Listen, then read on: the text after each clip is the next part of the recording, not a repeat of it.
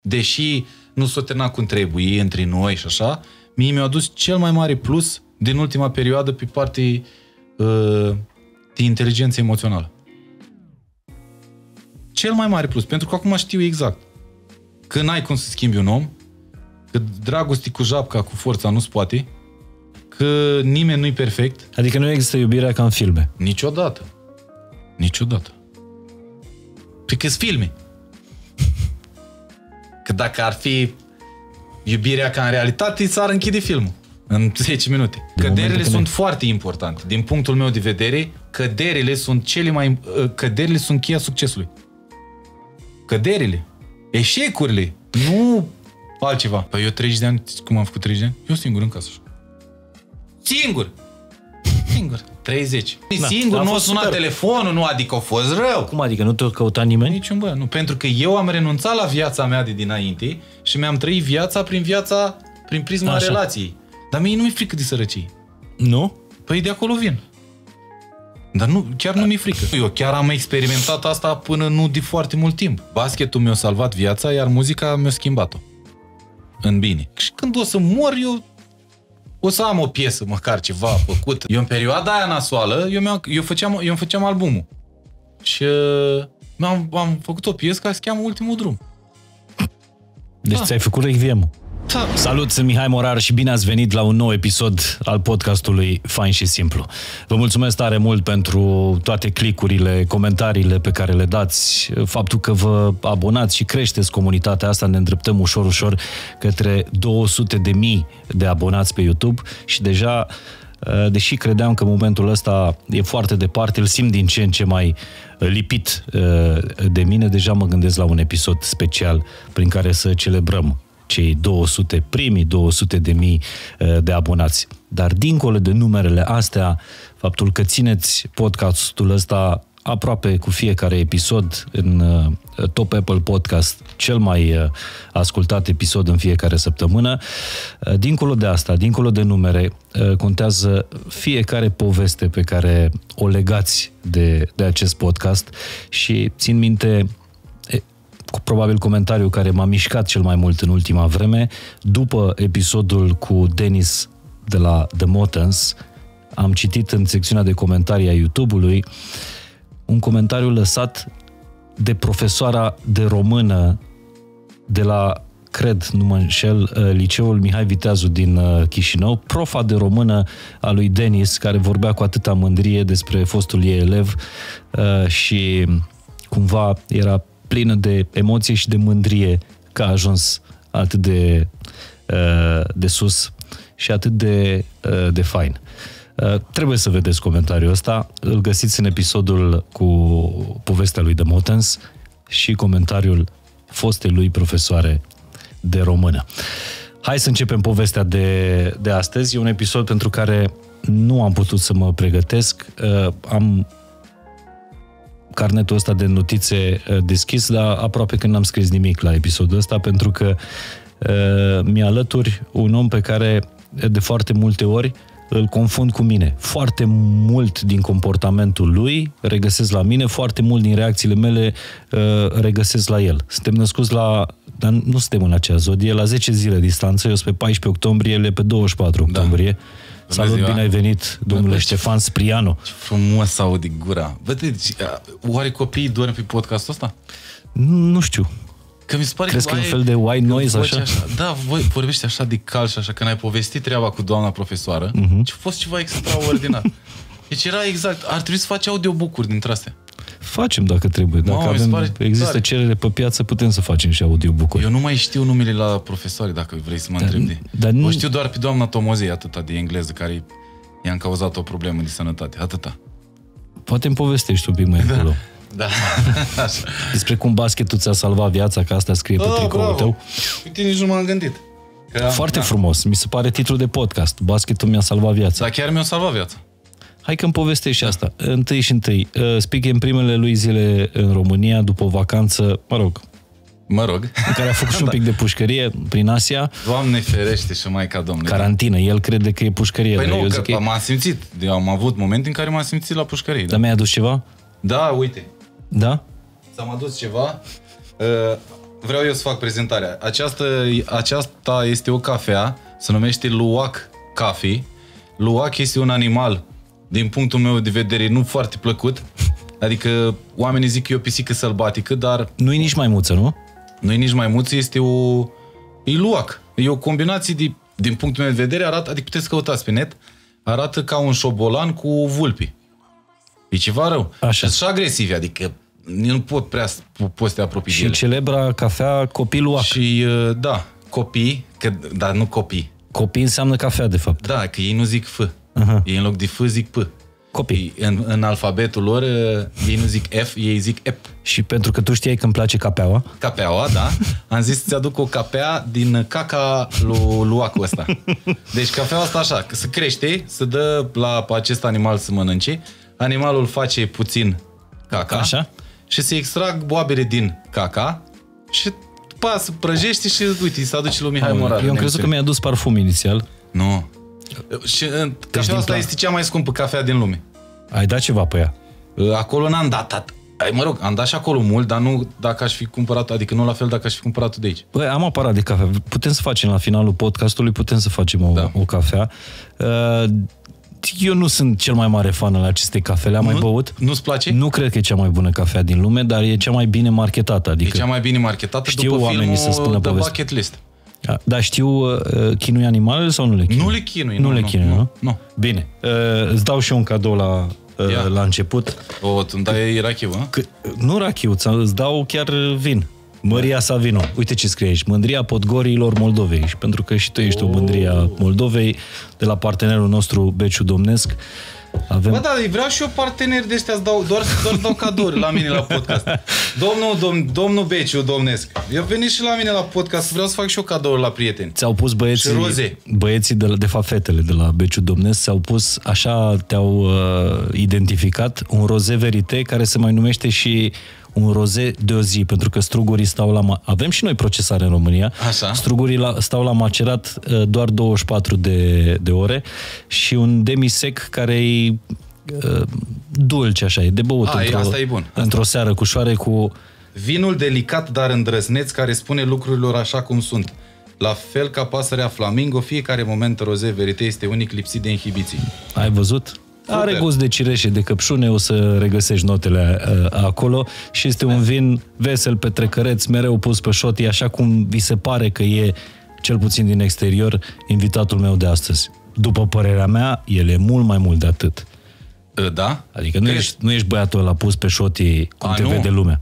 Nu, eu acasă știi că nu prea s- așa pus pe șote. Deși mai am momente, dar nu prea. Acasă sunt mai cu fața dreaptă. Dar nu știu de ce. Ce înseamnă fața dreaptă? Adică sunt mai serios, așa, mă gândesc mereu la lucruri. Nu prea am chef de glume acasă. Adică n- nu ți-ai face revelionul cu tine așa, nu ești Nu. cel mai haios băiat din curtea Nu, eu blocului. n-aș trăi, adică eu n-aș trăi cu mine. Deși acum sunt obligat să trăiesc cu mine cel mai mult timp. Dar eu dacă ar fi să, nu știu, să fiu pus în situația în care, bă, trebuie să trăiești cu băiatul ăsta, nu niciodată. Mi se pare că acasă sunt plictisitor. Adică eu o înțeleg și pișoare că uneori o mai ia razna. Bă, dar nu mai faci nimic, dar nu mai aia, nu... Na, adică așa cred eu că sunt plictisitor. Mie nu mi se pare că ești plictisitor, cred că ești altfel decât uh, imaginea asta care, cărora, care le-a rămas oamenilor despre, uh, despre tine și cred că în multe dintre cântecele tale uh, îți dai arama pe față. Uh, Uite da. cum e, de exemplu, gândindu-mă la, la piesele pe care le-a lansat tu până acum, mie mi se pare sugestiv pentru caracterul tău, pentru cum ești tu, uh, cânte cu căutător de fericire. A, da, ăla e piesa, aia e piesa mea preferată, mă. Și mă bucur că îți place.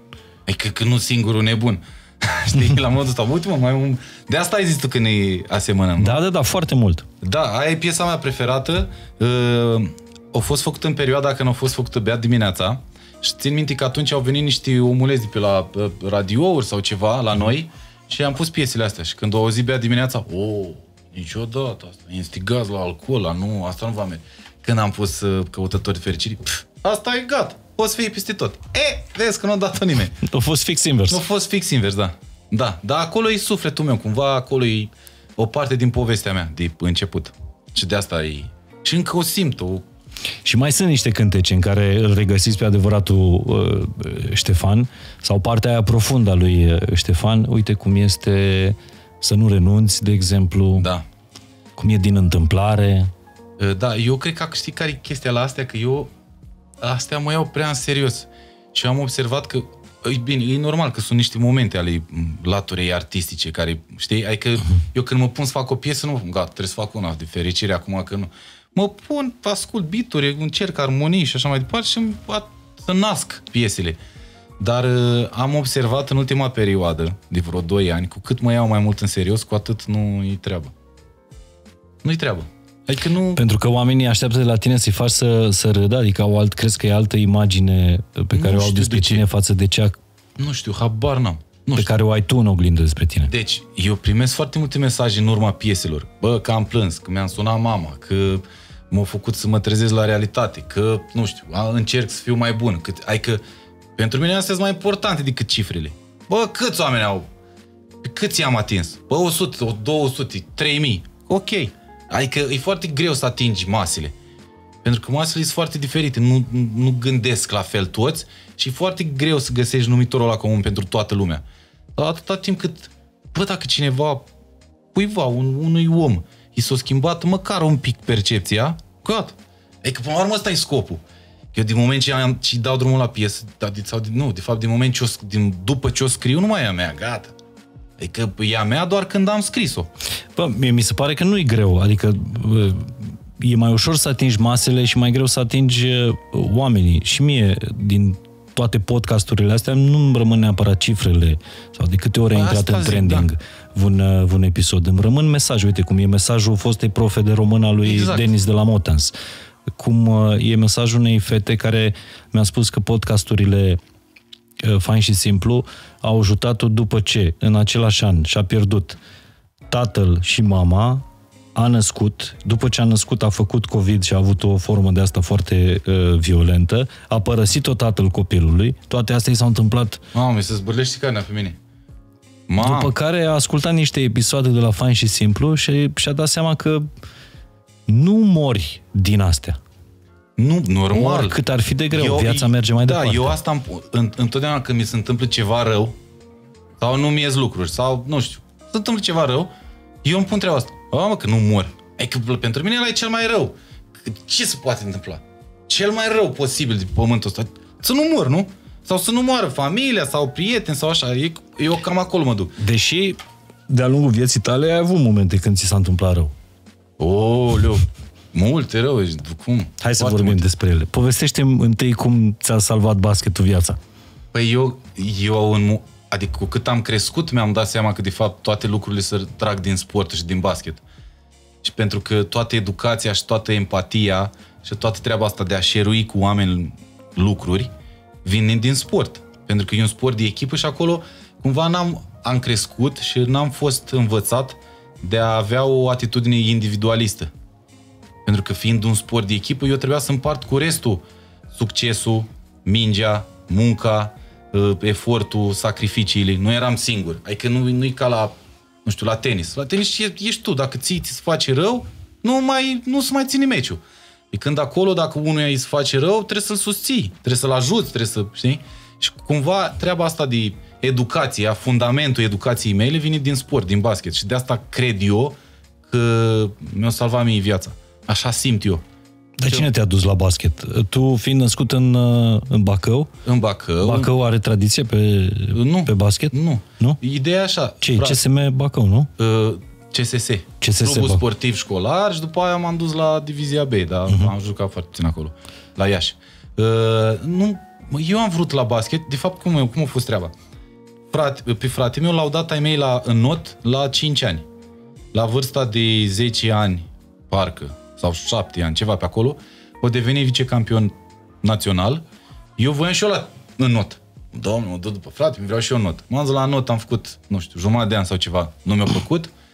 Frate meu după aia s-a dus la tenis, m-am dus și eu la tenis, după frate meu. Am jucat și tenis vreo câteva luni, poate chiar un an, după care el s-a dus la basket și a rămas la basket. Am mai încercat un pic cu fotbalul, dar nu, nu mi-a plăcut. Și pe aia zic, vreau și eu la basket. Doar că eram în clasa întâi, deja cât, 8 ani, 7 ani. Și voiam, voiam și eu, la basket, la basket, la basket. Eu până atunci încercasem din sporturile astea. Și uh, m-am dus la basket. Nu, ăia nu mă primeau, că eram prea mic. Fratele meu fiind cu 5 ani mai mare, na. Și în, în clasa a doua sau a treia au venit la, la școală, au venit antrenorul de la clubul sportiv. Bine, nu voiau să mă ia, zic, eu sunt fratele lui, vreau și eu acolo. Și m-au primit așa cumva de mic, că tot mic eram. Mic în sensul de scund. Nu, nu, nu, mic de vârstă. Și de vârstă. Da, da, da. În clasa a doua, o prea, adică te jucai, îți dădeau mingi, bat acolo, n-aveai ce să faci. și m-a, m-a primit cumva de milă, după aia m-am reîntors un pic la tenis, dar, adică mergeam și la basket și la tenis, și la basket și la tenis, și după care am rămas pe basket. Deci cumva, eu mi-am dorit foarte mult, indirect frate meu. Na. Eu mă țineam după el, mereu, am, eu trebuie să fiu ca el. Și aveam o treabă de asta, să fiu mai bun ca el. Că l-am dat, ne-am și confruntat. Adică în... erați în echipe diferite? Da, el era la juniori 1 și eu eram la juniori 3. Și să nu-mi zici că l-ai bătut. Uh, nu prea, nu, dar eram, hă, leu, cine băteam. Adică cumva în teren eram câini, nu mai eram frață. Că eu eram și cumva, bă, da, bă, că el a fost întotdeauna mai bun decât mine în orice. În orice. Adică eu la școală eram oaia neagră, el, o, Mircea, păi da, ca Mircea trebuie să fie. Cum? El e un exemplu, el e, știi? Și eu eram, pa, mă, ce mă enerva treaba asta. Știi? Și, și la da, basket asta, la fel. Asta ziceau părinții sau asta ziceau uh, nu, profesorii care Profesorii, profesorii. Ai, ai mei n-au făcut niciodată diferența asta între noi. Ai că nu, sau cel puțin, eu știu, poate făcut, dar nu ne-au zis, adică nu ne-au dat de înțeles că unul e mai presus decât celălalt. Dar uh, profesorii, da. El, el era foarte muncitor la basket. Eu eram un pic mai puturos, dar foarte tehnic. Cumva, mă, trebuie să alergi foarte mult. Și eu eram tot timpul, găseam câte o cale din asta de pac. Ba, plecam eu primul în atac, ba, știi? O scurtătură. O scurtătură, da. Dar eram foarte bun, adică am fost și cel mai tehnic jucător din țară și așa mai departe. Și la școală erai tot așa? Mai fă, făceai din talent? Sau... Uh, la școală... El era genul premiant, înțeleg. Da, olimpic din ăsta. Olimpic, frate. Da. Da, eu... Bă, eu nu prea m-am înțeles cu profesorii, pentru că eu încercam să găsesc o logică în tot ce îmi spun ei. Și mereu puneam întrebări ce nu prea le convenea. Probabil că nici ei n-aveau răspunsurile alea și cumva se cine ești tu, bă, să mă întrebi. Știi? Și când am, eu din, din, în liceu am fost la bilingvă engleză. Și am făcut matematică, fizică din asta. Dar înainte când făceam matematică, o făceam o problemă din aia atâta și dădea un, un număr. Și ziceam, domn profesor, mă scuză, pot să... ce e asta? E că numărul, ce reprezintă? Păi cum ce reprezintă? Că pă, rezolvarea problemei, că... Ok, dar real, ce reprezintă? Cu ce mă ajută pe mine? Sau... Și nu li plăcea treaba asta, știi? Și după aia... Man... Deci tu erai un fel de prâslea. Uh, da, era mai... La mic uh, și... Șugubăț, așa. Da. Șugubăț și ne... Nu, nu suportai autoritatea. Nu suportam au, autoritatea, dar nu, mă supuneam, dar uh, bă, vreau să-mi explic cu niște argumente. Adică când venea, nu știu, pă, câte un profesor la mine și îmi zicea tu, ca și copil, că la la la. Și eu puneam întrebarea, doamna profesor, aveți copii acasă? Nu. Păi și cum știți cum sunt, îmi spuneți mie treaba asta? Păi, și dădea lumea psica. Cine dracu e asta, bă, frate? Știi? Și ai mei, ai mei, mai târziu mi-au zis treaba asta. Ai era cel mai mândru. O bă, când mă duceam la școală, au, au fost momente în care au, au, au fost chemați părinții la psiholog. Că credeau că am luat o raznă noi, copii, că mai aveam vreo doi, dar erau mai așa. Și taică mi era cel mai mândru. Că îi zicea psihologul, Domn Sprianu, a, n-au, nu are nicio problemă. Nicio problemă n-are. Stați niște profesori, mai de modă veche, mai, dar n-au nicio problemă. Și tai cum era. Foarte mândru, dar el nu-mi zicea ca să nu-mi dea cumva curaj să pierd eu control. La basket eram, eram răzvrătit așa. Dar acolo am ajuns la un, cum zic eu, un numitor comun cu antrenorul. Adică eu mi-am dat seama, am avut capacitatea să-mi dau seama la vârsta fragedă că eu trebuie să am un... Uh, trebuie să joc de frică. Eu jucam bine de frică. Și eu, adică ne mai băteau antrenorii. Că na, așa se făcea atunci educația în sport. Ceea ce mie nu-mi pare rău acum, adică nu văd așa rău. Nu ni schingiuiau, dar îți mai dădeau un capac cu asta. Și eu când... Eu am observat asta, bă, joc mai bine când îți bătut. Aha. Știi? Și când începea meciul, dacă nu mă simțeam eu, trebuia să ne înrăiască. Noi eram înrăiți foarte tare de antrenor. Și mă duceam la el, domnul profesor, vreau o palmă. Puf! Am mutat căpățâna, gata. Și te duceai și cereai bătaie? Da. O palmă. Adică așa am avut multe meci, că domnul profesor, vreau o palmă. Și îmi dădea o bucată. Buf, nu mamă, cred. și mă amețea, eram... Și cumva toată frustrarea aia, că eu nu puteam să dau un antrenor. Îi mâncam pe ea. Îi, fa. Era foarte, avea o... Da, mă, dar nu așa să fac lucrurile din frică. Adică... Păi, eu știu, dar eu așa am jucat de frică. Mulți au jucat din frică, mulți au făcut lucruri adică în viața noi asta aveam, la un, an, la un moment dat, un antrenor, nu știu dacă mai trăiești, domnul Ciuhureanu, foarte bun antrenor, dar cu școala sovietică. Bă, deci dacă n-arunc, nu că dacă greșeam un pas, dacă n-aruncam corect, deci dacă nu țineam cotul sub minge, să opream meciul. Stop, flera. Și intra în teren și mă bătea. Stai cu cotul sub minge, stai, l-am dat, îți dai seama, fugeam el după mine, mă, nu. Știi, adică la ne domnul antrenor, ne-a, ne insuflat treaba asta de răutate. Dacă cineva îți lua mingea din mână, nu exista așa ceva. Omor. Omor, bă, îl muși de gât. Păi cum să-ți ia mingea din mână? Și eu am crescut cu treaba asta, știi? Eram foarte, și eram foarte, nu suportam treaba, adică dacă era fault și nu mi se fluiera, mă luam cu arbitri, mă, adică am avut faulte tehnice, o grămadă, m-au dat afară, m-au suspendat, mă. Că eram, am eu niște principii de astea foarte idealiste și totul să fie corect, dar nu poate. Da, acum am dau seama că mulți din generația noastră am făcut lucrurile de frică. De frică de a nu fi cum sunt părinții noștri, de a frica de a nu fi sărași, din frica de a... Uh, da, da, da, da, să faci De a nu ne bate cineva. Știi, da. mereu uh, am, am făcut foarte multe lucruri din, uh, uh, din frică. Da, ție nu ți-a plăcut școala niciodată? Nu că nu am avut materii care mi-au plăcut foarte mult. Engleza, geografia, istoria. Noi făceam și geografie și istorie în, și în limba engleză. Uh-huh. Că am avut astea mai umane. Astea reale, păi, deloc. Deși știu matematică, adică știu bază, știu cam ce trebuie să știi din matematică, dar nu, am, nu mi-a plăcut să aprofundez pentru că pentru mine nu, nu era nicio logică. Nu găseam o logică palpabilă. Ba, adun două, dacă îmi zicea de la, de la început, avem 7 kg de meri cu 7 kg de peri și la final ne dă ceva. Știi? Nu. Uh-huh. Erau toate acoladele, toate alea, din nu înțelegeam nimic, nu găseam nicio asemănare. Eu merg foarte mult pe analogii. De mic, nu știu de ce. Și întotdeauna încerc să caut câte o asemănare dintre un lucru și celălalt. Cum, adică și încerc să le aplic și în alte domenii. Că la matematică. Deci ție cumva lumea trebuie să-ți explice un lucru uh, ca să-l înțelegi tu, ca da. să fie pe logica ta. Da, da, exact. Îți mai pragmatic așa, mai, bă, trebuie să aibă un sens. Orice se întâmplă. Știi? Dar cu ai tăi te-ai înțeles? Eu nu știu da. foarte multe despre, da, despre da, părinții tăi. Da, m-am, am, da, m-am înțeles foarte bine. Adică ei nu mi-au... Îți dai seama că nu erau cei mai fericiți când erau chemați pe la școală de profesori, de voia să mă exmatriculeze, să dea astea, adică au fost rău. Adică rău. Era, era mai rebel, era mai... Da, la fel eram și eu, adică și că mi-a fost chemat de câteva ori la școală ca să mă exmatriculeze, am mai povestit asta pentru că scriam despre profesor la ziar. Na. Foarte bine De-aia zic că semănăm foarte mult. Da, știi? eu n-am, adică directoarea, păi zic și numele, că vă știu acum, că m-a, m-a terorizat. Doamna Toderiță o cheamă, nu mai știu cum Toderiță, era de engleză. Doamna Toderiță, dacă vă uitați, uitați că am ajuns bine, că mi-ați, mi blestemat zilele. Și păi da, păi, deci n-auzi că mă visa noaptea. Cine? Directoarea? Da, a făcut eu obsesii pentru mine, că de mă ura din suflet. Sau mă rog, mă ura. Și ce zicea director? Adică mai ții minte ce Păi când am luat la, la BAC, am luat 926. Și uh, eu când am terminat liceul, eram penultimul ca note din clasă. Din toate clasele de a 12-a. Uh-huh. Deși nu era în lemn.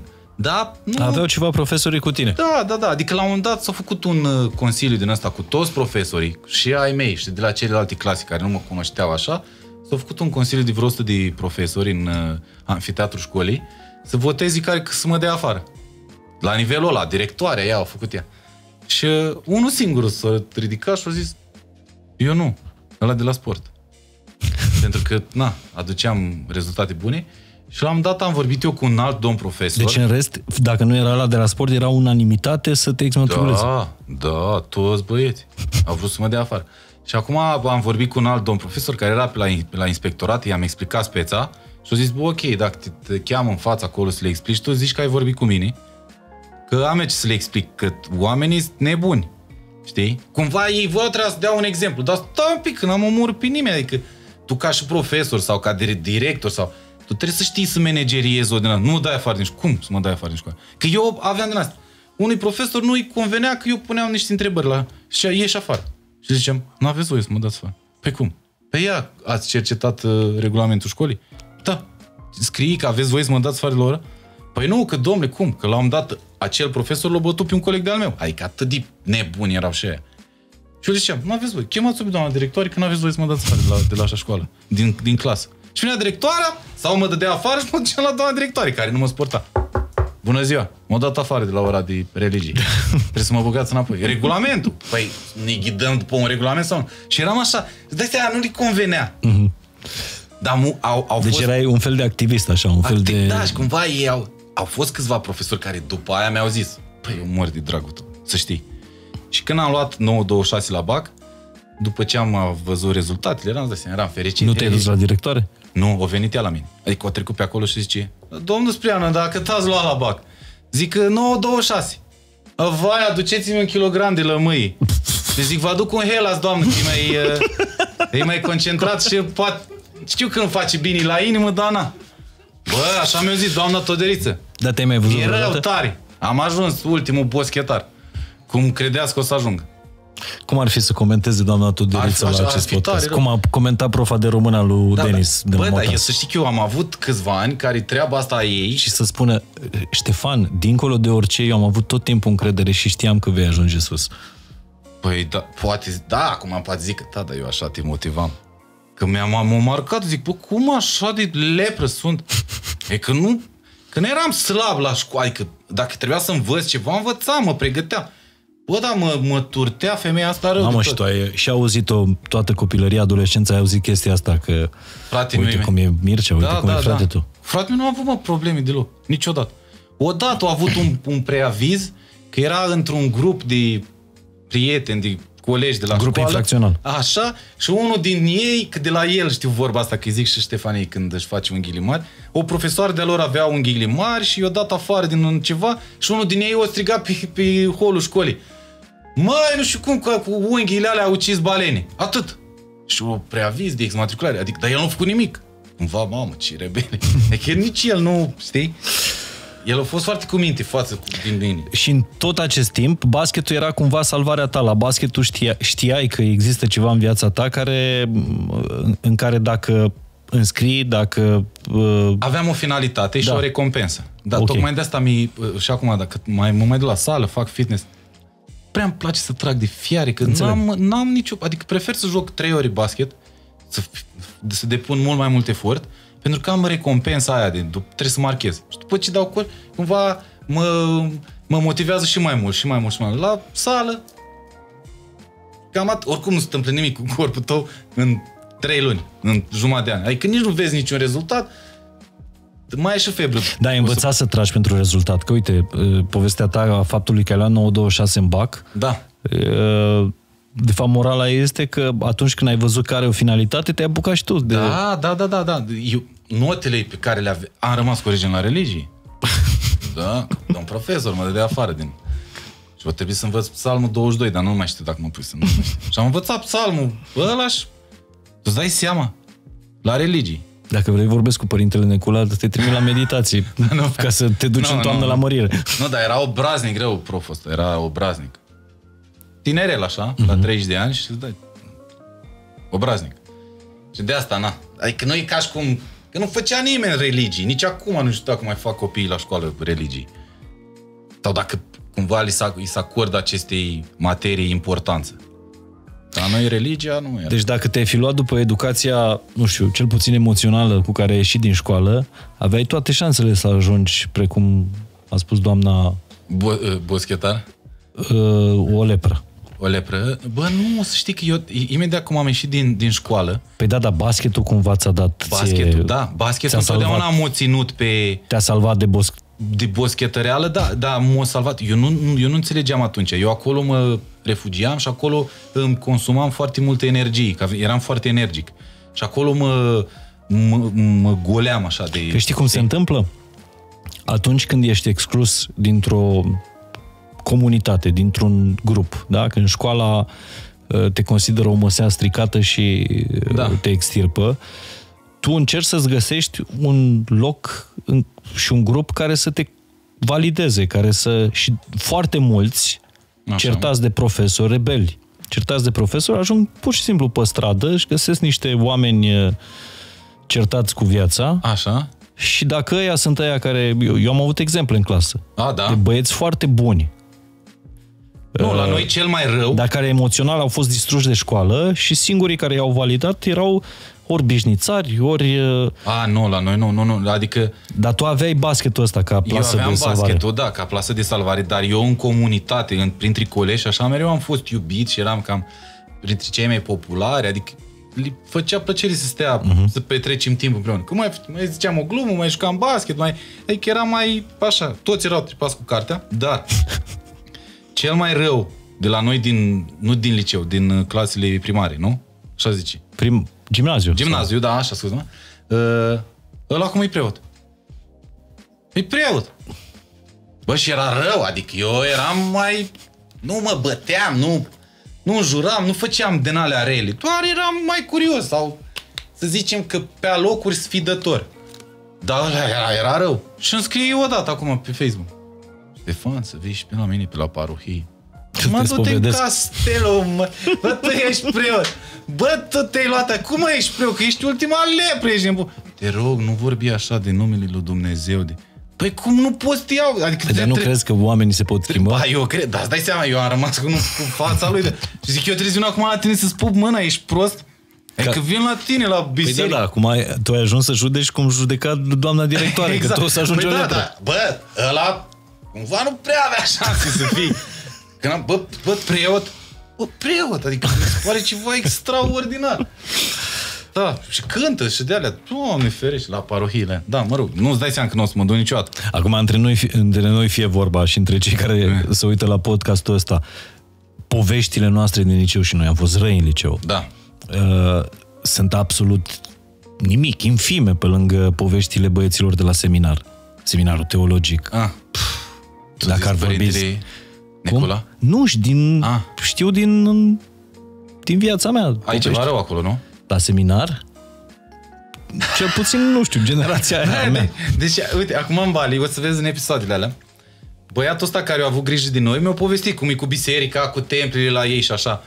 Și zic, mamă, dar și pe aici și voi aveți, e că am aranjat templu cu preoți, cu astea. Și că, "A, la noi noi suntem obligați, adică noi din familie trebuie să fim preoți. Suntem obligați. Aici nu vrea nimeni să fie preot. Păi zic, cum? Că la noi toți băieții vor. Că nu, că aici trebuie să fii foarte humble, foarte umil, așa, și nu trebuie să-ți mai atingi hainele cu ale familiei, trebuie să stai foarte separat. N-ai voie să ai nimic. Zic, o, la noi discreții. Da. Eu acum uh, înțeleg de unde atitudinea asta a ta vis-a-vis de, de biserică. Ți-e, fo- e ți foarte greu să, să accepti uh, orice formă de organizare pe care Ă, d- Care se cumva nu bazează, înțelegi. Ă, Nu, orice formă de organizare care se bazează pe o chestie care ține de suflet. Adică nu poți, nu știu, în biserica, eu nu cred în biserică. Deloc. Nici în preoți, nici în... Cred în, ă, în călugări care într-adevăr duc o viață și își, își dedică viața pentru treaba asta spirituală, nu cred într-o instituție numită biserică. Niciodată. Nu pot să cred. Nici de asta zic. Nu că toți Dar preoții zi-mi o sunt. instituție în care crezi. În care cred? Să nu-mi zici asta care gestionează drepturile de autor. Niciodată, ale asta e mai rău artiștilor. decât biserica. Adică totuși în biserică mai am o... Și că vin niște oameni cu energii pozitive acolo, sau mă rog, da, așa, dar în asta în credit, dan sau UCMR niciodată. Niciodată, nici- eu trebuie să le dau bani. Cum trebuie să le dai bani? Păi mi-a venit odată la un moment dat, adică cred că singur, nu știu, mi-a venit, uh, trebuie să le dau 10 lei. Ei fiind uh, mandatați ca să-mi gestioneze conturile de... trebuie să le dau bani. Păi și tu n-ai încasat nimic? N-auzi cât au, au cheltuit ei mai mult timp și au pierdut mai mult timp cu gestionarea. Nu știu, mă, ceva îngrozitor. Băieții ăștia, nu știu, dacă stau să mă gândesc în, la o instituție în care cred, A căsătoriei. nu. Nu neapărat că nu cred, adică mi se pare că e degeaba așa, nu e. Tot ce ține de suflet, Așa. nu cred că poate fi organizat într-o instituție. Nu cred. E de suflet. Fiecare suflet este diferit. Trăiește diferit, simte diferit. se comportă, se raportează la lucruri diferite, vibrează la frecvențe diferite. Uh-huh. N-ai cum să adun toate astea într-un loc și să organizezi lucrurile. Nu cred.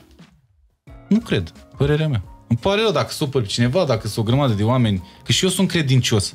Cred în Dumnezeu, cred în energii, cred în bine, cred în karmă, în ceea ce faci, uh-huh. ți se întoarce și așa mai departe. Dar nu cred în biserică. Și nu crezi că cineva trebuie să le vorbească oamenilor despre, despre asta? Ba da. Ba da, eu, eu cred că cineva trebuie să le vorbească, dar nu știu dacă uh, în modul ăsta.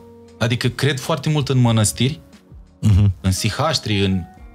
Adică dacă tot vrei să găsești uh, înțelepciunea sau, uh, nu știu, purificarea sufletului, du-te în vârf din munte, nu te du în centrul orașului unde ești acoperit de aur. Mi se pare ceva, băi, băi, da, la nevoia, mintea găinii. Nevoia oamenilor din orașe de uh, aș regăsi sufletul e mult mai mare decât păi da, da, tu cu... A oricui. Da, de ce trebuie să te duci la cineva ca să-ți regăsești sufletul? E cât cum te duci tu la un băiat, la un băiat, da? Te duci la un băiat, bună ziua, mm-hmm. vreau să-mi regăsesc sufletul. Bine, tu exagerezi acum, că nu, nu e chiar așa. Bă, nu, nu, ok, nu o zici pe gură, dar cam aia gândești. Bună ziua. Bună, să rămân la părinți, sau cum se zice, da? Vreau să mă închin sau ce să fac eu acolo. Și el să zice, a, să zică, da, trebuie să nu faci, dar ce ai făcut? A, dar din cauza asta, bă, termină cu prostiile. Adică mi se pare că tu cu tine trebuie să... N-are cum nimeni să dea acel uh, imbold de spiritualitate sau să te cureți pe tine. Niciodată, nu cred. Decât, nu știu, conectarea cu natura, conectarea cu oameni care sunt... Da, da, care... pentru unii, uite, unora li se potrivește sportul de echipă și... Da.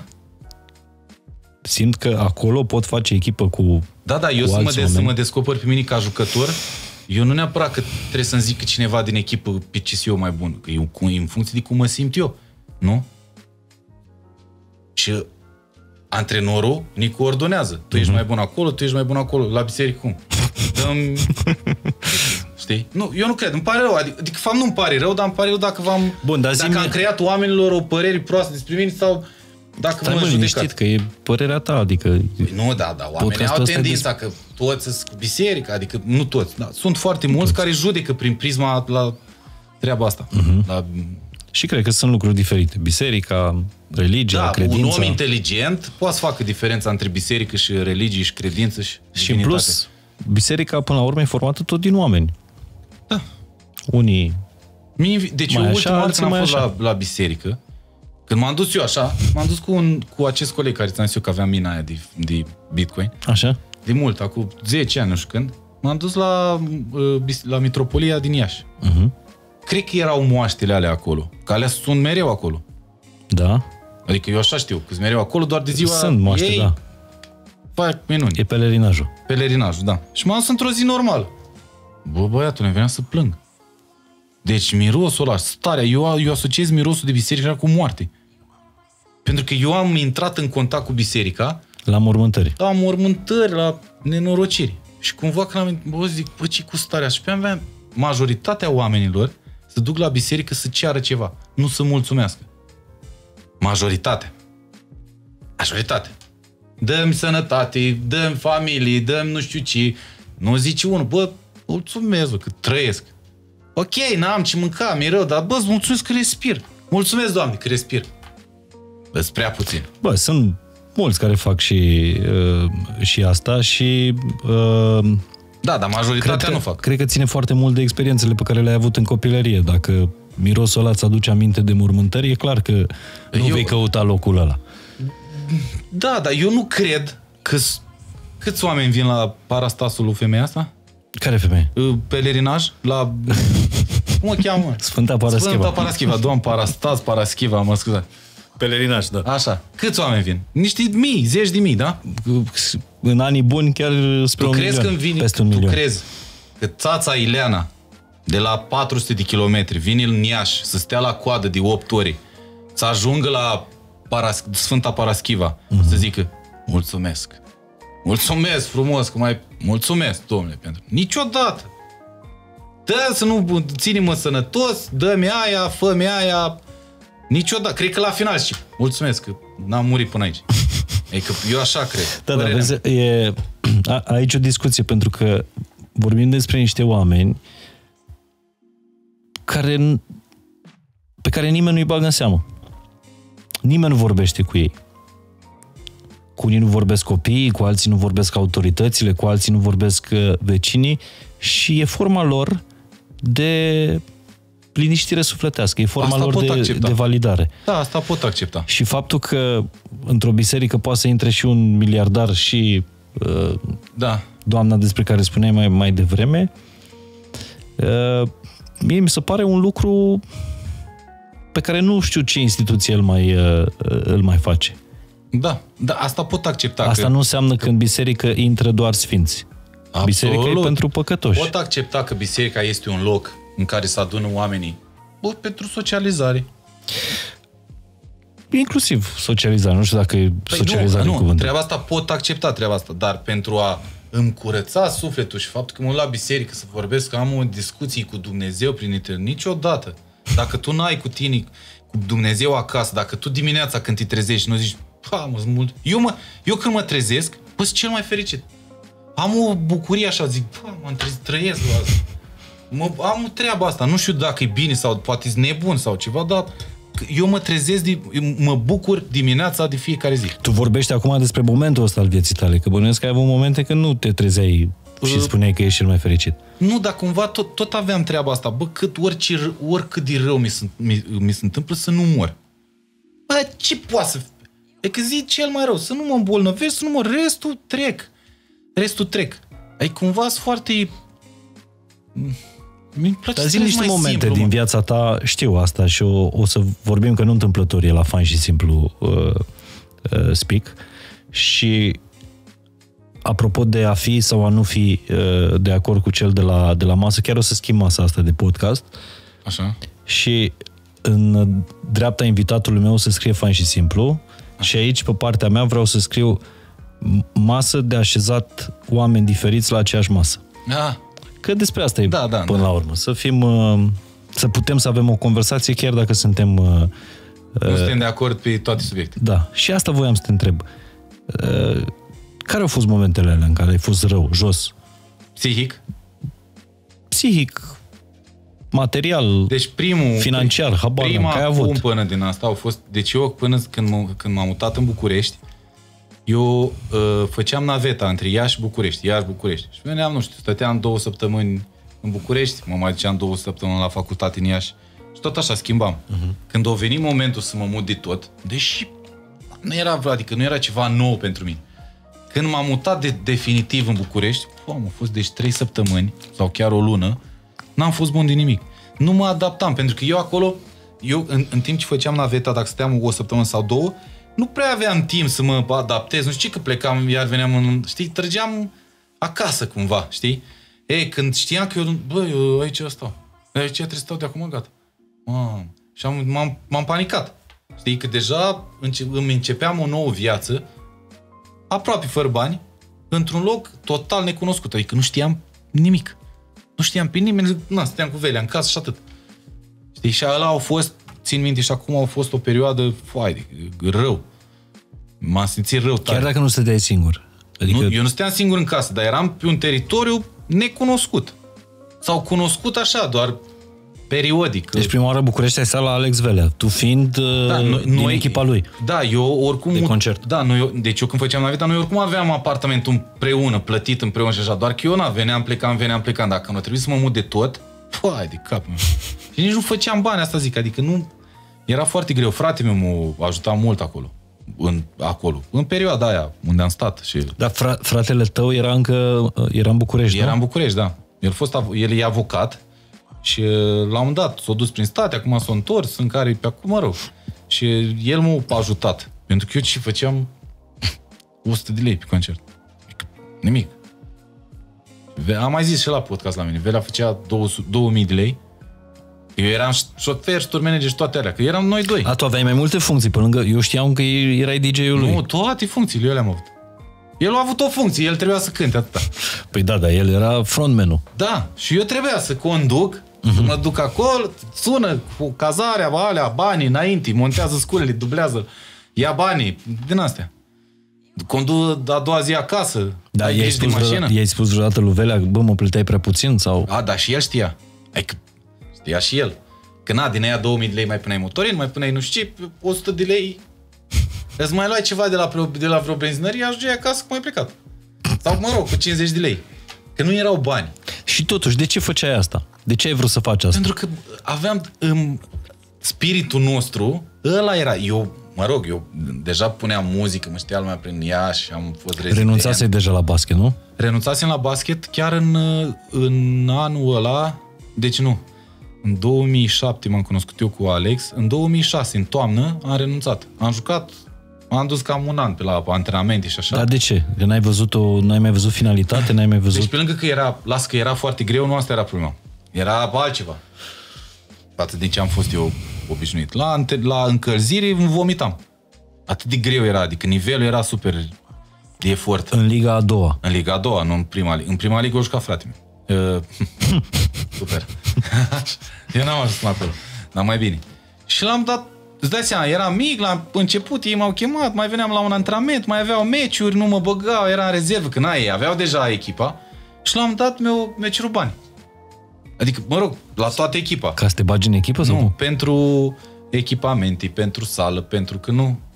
Bă, și atunci am avut un flash de la zic, bă, dar eu am jucat atâția ani din clasa a doua și mi-a rupt coaste, mi-a rupt toate alea rupte pe mine și uh, n-am avut, practic n-am avut copilărie.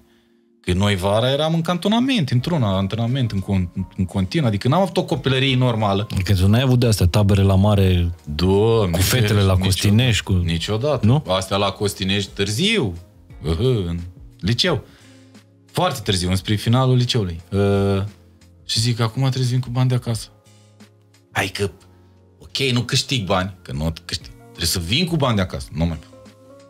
Și Atunci am pus-o, că mi-am dat seama. Fiind deja la profesioniști, că Liga a doua, nu? Da, sau da, Liga da, a doua da, e de da. amatori. Nu, nu, nu. E de profesioniști. Da, profesioniști. Dar la profesioniști sunt, sunt și juniorii. Uh-huh. Nu, noi n-aveam un program de amatori. Și în momentul în care s-a înăruit visul ăsta, băi, am, din clasa a doua uh, și am ajuns la profesionist să vin cu bani de acasă, a zis stop, gata. Da, stop. Eu în Și timpul z- ăla cochetam și cu muzica, adică puneam muzică prin cluburi, așa am, am început să-mi, să-mi câștig primii bani. Din post muzică. Mă rog, nu mulți bani, dar na, 300 de lei, nu știu cât făceam pe seară. 300 de lei, 30 de lei pe seară și era ceva extraordinar. Din dedicații nu făceai bani? Nu, că nu era. Nu ajungeai la mine așa ușor, eram, Era important. eram prețios, da. Și nu dădeam, adică nu, eu nu țin minte să fi dat o dedicație. Deși vezi că nu era rău. Dar vezi că erau DJ care făceau Știu, Tinu de la Timișoara. averi din dedicații. Așa ce-a făcut Tinu averea, cred. mi-a zis, mi-a povestit Tinu. Da, eu nu dădeam dedicații, dar na, puneam muzică, eram pe rap, eram pe underground, altceva. Era greu cum noi. Deci tu nu prea, nu erai un uh, people pleaser. Nu, eram... Nu, eu nici acum nu sunt foarte sociabil. Aha. Adică mă integrez greu într-o... Când văd mulți oameni sau oameni necunoscuți și așa, mă, Fuge. mă zgribulesc așa, dar nu... De asta nici n-am mulți prieteni. E că eu vorbesc cu foarte puțini oameni și așa, nu-mi place mie, să- nu știu, nu... Devin anxios așa, nu știu, nu-mi place. Deși nu prea pare că eu aș putea să fiu...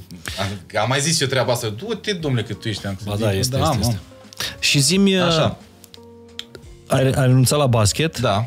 și ai zis, "F- mă acces pe muzică. Da, adică nu, am, nu, mi-am, pro, nu mi-am propus, că, mamă, eu să fac muzică de acum, dar mi-am continuat treaba cu muzica, pentru că îmi, îmi, îmi plăcea foarte mult, Nu, da, vreau să câștigam și înțeleg bani. de ce te-ai mutat în București, care a fost... M-am întâlnit, cu- deci eu puneam muzică la uh, tot felul de petreceri rap, underground, cu, eu cu CTC-ul și cu Doc m-am cunoscut atunci, în perioada aia. Uh, și pu- făceam scratch-uri, eram pe așa. Un băiat care cânta, un uh, uh, Bishop îl cheamă, un băiat de culoare care a cântat și cu Anda Adam și cu Chelu și cu... Se știa cu Alex. Și ei au făcut un turneu antirasism în țară. Mă rog, așa să voia să fie un turneu, dar nu. Nu ce? Nu, nu. Nu ne-au luat niciun bani, ne-au tras ea pe aia, adică nu. Și m-a sunat băiatul ăsta, bă, uite, vine Alex la Iași, cu conector, cu Mickey, cred că era un Mickey, unul de la care era crescut de Casa Loco. Pe el un clip printr-un uh, supermarket din asta. O parodie de asta, ceva. Așa.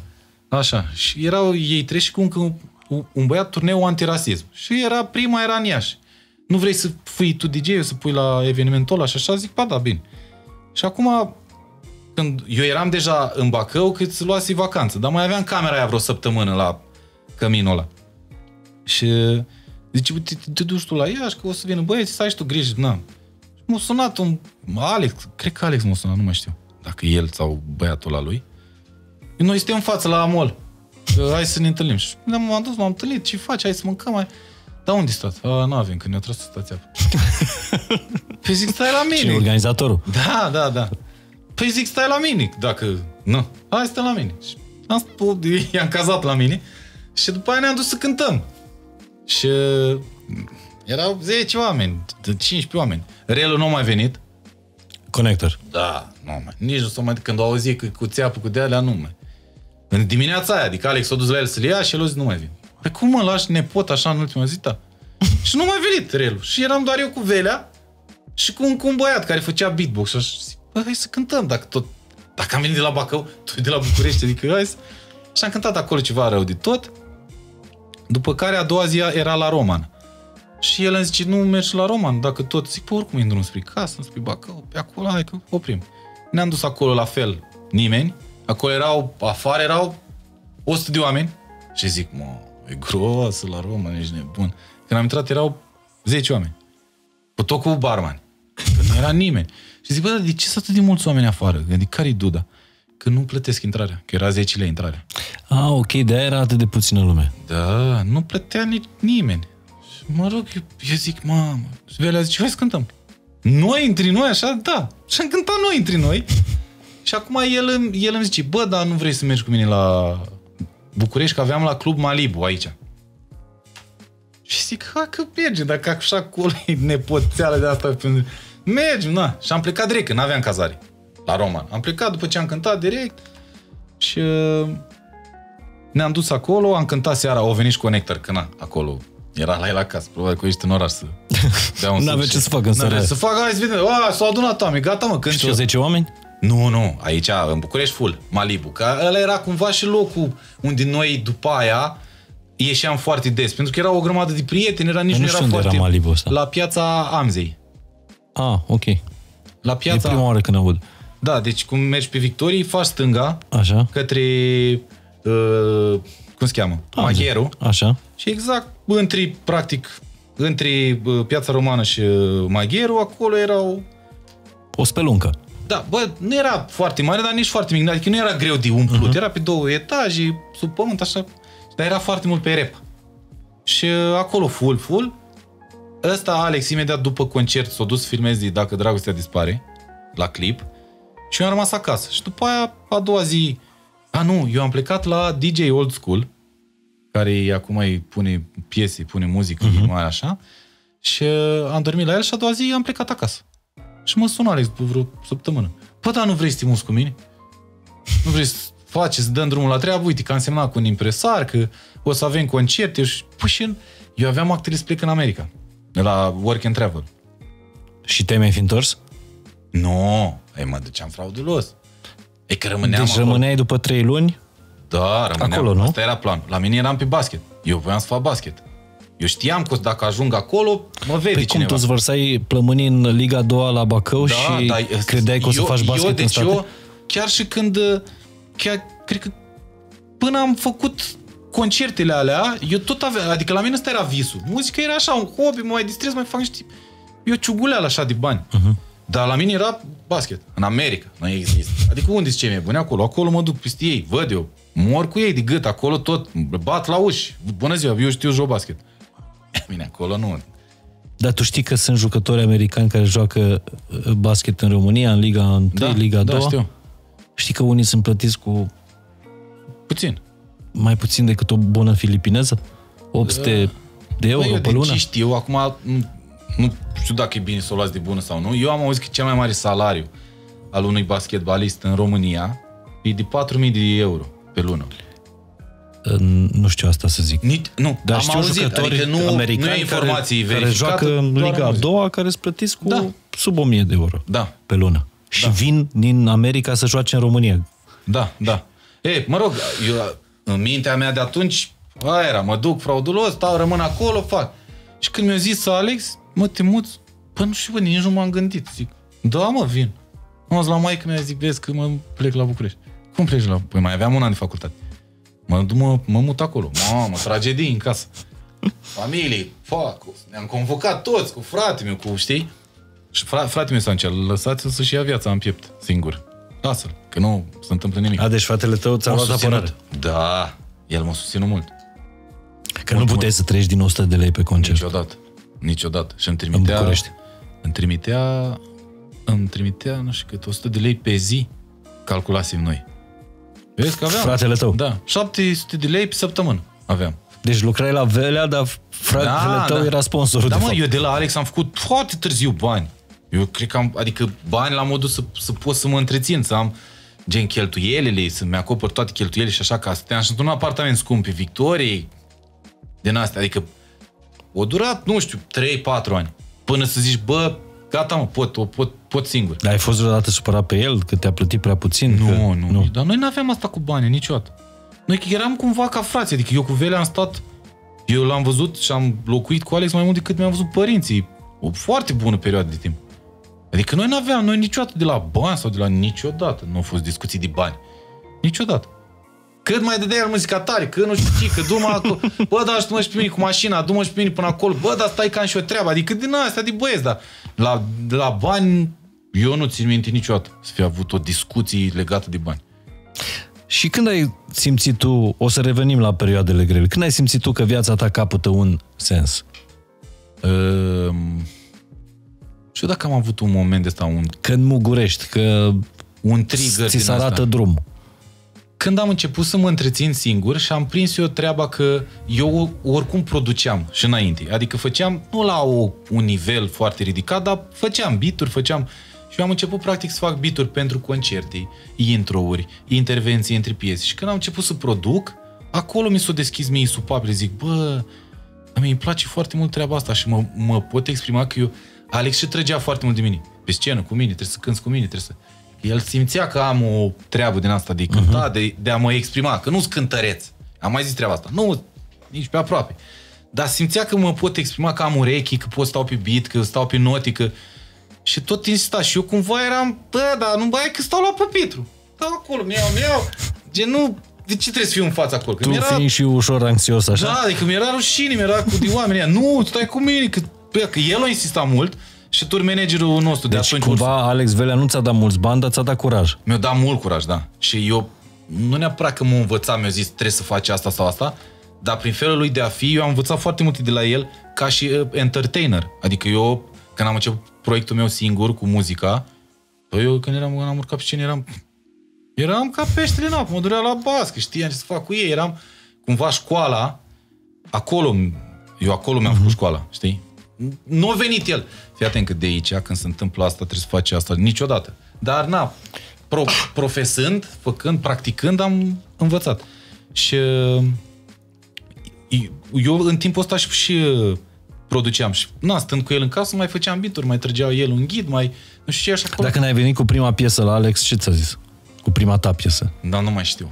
Nu mai știu că noi după aia ne-am, uh, ne-am mutat la, adică s-a făcut HAU, Haha Production. Da, în 2009 s-a făcut HAU. Unde era Smiley și era și Velea. Era Smiley, Velea, Baxter și Orban a venit după. Era... Cabron?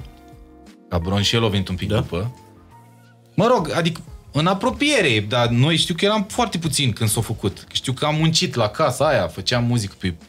A, deci tu ai fost de la început la ha ha ha. Ai da, fost... adică nici nu era, pus... practic, da. Am luat-o, era o luat, am luat. O luat Smiley o casă, că el avea cel mai, cel mai mulți bani dintre noi atunci. și el, și firma lui, na, ideea lui. Și uh, casa aia era o casă bătrânească pe care am renovat-o noi și în ultimul studio nu mai aveam bani de birou, de... Și am, am rupt ușa, am rupt, am scos ușa, am pus-o, aveam niște căldări de vopsea, de rigid, nu știu ce era de rigid, de ciment, de toate alea. Și am pus ușa aia și ăla era birou provizoriu. Și acolo făceam pe masă, pe ușă. De? Și ce piese au ieșit de acolo? Oh, multe, foarte multe piese. A, era vremea cu... Minim doi, mai vechi. Cai vers pe pereți. Da, da, deci, da, da, mai vechi. Mai vechi. Mai vechi. Mai vechi. Dar eu nu ia la fel. El acum mai ales s-a industrializat rău cu ha-ha-ha. Înainte era fix, erau niște prieteni, niște băieți, care făceau muzică fix de drag. Nici nu știam ce să facem cu ea. Adică cu radiouri, cu... Ne-am făcut canal de YouTube. HAU e primul label cu canal de YouTube. Când aveam unde să o arătăm. Noi facem, dar cine drag ne ascultă? Da, și uh, acolo mi-am făcut eu școala, dar mi-a plăcut foarte mult că uh, puteam să mă, să mă exprim prin producții fără să mi se vadă mutra. Și zic, oh, cumva să mă ascund, să dau mai în umbră, eu sunt, da, nu mai știe nimeni, știu prietenii mei și atât, știi? E, până când am dat de scris. Eu când am început să scriu, scriam în engleză. Mi era mai ușor, e mai melodioasă limba, e mai I love you, sky is blue. Uh-huh. Girl, I wanna be with you, știi? Și când am, când am început să scriu, în română, târziu mi s-o, cum zic eu, mi s-a părut că pot scrie în română, pentru că, îți dai seama, în engleză suna orice în capul meu ca în America, sau mă rog, dar în română când ziceam ceva, pa, zic, zic bă, urâtă limbă, zic, zic nu-i melodioasă limba noastră deloc. Și zic, bă, bă, când am început să scot niște așa, când, când, exact când m-am exprimat eu, când mi-a ieșit sufletul, și zic, bă, trebuie să fac asta. Și prima piesă e Prat de război. Aia a fost prima ta piesă în limba română? Da scrisă, înregistrată și așa mai departe. Prima. Și aia a fost făcută, bă, am povestit. Că m-am trezit dimineața să mă duc la baie să fac pipi, la 4 dimineața, și acolo mi-a venit tot filmul, zic. Eu și treceam printr-o perioadă, eram cu cineva atunci, apoi eram despărțiți cu uh-huh. fată, că nu știu Și zic, mamă, ce tare e asta, ești nebun. M-am dus la benzinării, că aveam o benzinărie în fața blocului, mi-am dus, mi-am luat două sticle de vin. Îți dai seama, om nebun, la 4 dimineața. Bună ziua, vreau două sticle de vin. Mi-am pus două sticle, am, am băut una. La nou era scris tot. Tot filmul. Dar tot. care versuri ți-au venit uh, primele? E târziu, e dimineață. Alea, nu? Alea, eu am descris exact momentul. Și Prea era... multe grade la dosar, vă totul doar în ceață, că eram deja strâm la față. Și refrenul ăla cu... Nu, și după aia m-am dus imediat dimineața. Așa. Strâmb la față, m-am dus la ha. După două sticle de vin, da, băute singur. Da, bună ziua. M-am dus acolo, pe la, nu știu cât era, 10, 11, era cabron. Și zic, mamă, am făcut cântecul ăsta azi dimineață, azi noapte, uite un pic, ascultă-l. Și zice, a, păi am și eu ceva, lasă-mă să-mi scriu. Zic, scrieți. S-a dus într-o, în, într-o cameră, eu m-am dus în altă cameră, el o scris, o dura jumătate de oră, am strofa. Cum mai strofa? Gata, am scris-o, hai să o tragem. Am tras strofaș și pe aia a venit smiley. Și zic, mamă, refrenagiu, avem nevoie de un refren de ala. Forță, de ala să Ți să zbârlească ca neaptine. Și-o lucra la refren Smiley, Velea și Dorian. Și cu mine. Și, și acolo și... a ieșit refrenul, mai zi tu cuvintele, că nu le mai țin minte. Între două, nu te plouă, plouă, ce mă fac între doi, el mă trage înainte, el, tu mă tragi înainte, el uh-huh. mă mhm. vrea înapoi. Cu inima rănită rămâne unul din doi, nu sunt pradă de război. Și eu când am auzit pradă de război, mi se părea, bă, dai, prea... Hai că mi se părea mult mai simplu, mult mai, dar pradă de război, nu știu dacă au contat neapărat numele ăsta, dar... Și așa s-a născut, dar în ziua aia gata, era... Gen după amiază era gata piesa. Piesă care n-a avut niciodată videoclip? Niciodată. S-au vrut, dar n-au... Sau... N-au catadixit. Da, când nu erau bani, când nu aveau ei încredere la ha, în clip, în astea, adică au fost și niște discuții dacă vă uitați acolo. pe YouTube la piesa Pradă de război, e o fotografie cu doi pe bancă. E o fotografie, da, eu mereu vreau să subliniez asta, este cinegrafie, e o fotografie care se mișcă. Ah, și ne-am chinuit foarte mult. I-am dat lui Oase, Oase, Oase, i-am dat 350 de euro bată la norocul, că nici nu aveam bani și mi-au luat toți banii atunci. Pe fotografia aia? Da. Nu, nu o plăti hau. Ai că am plătit eu. De la mine. Na.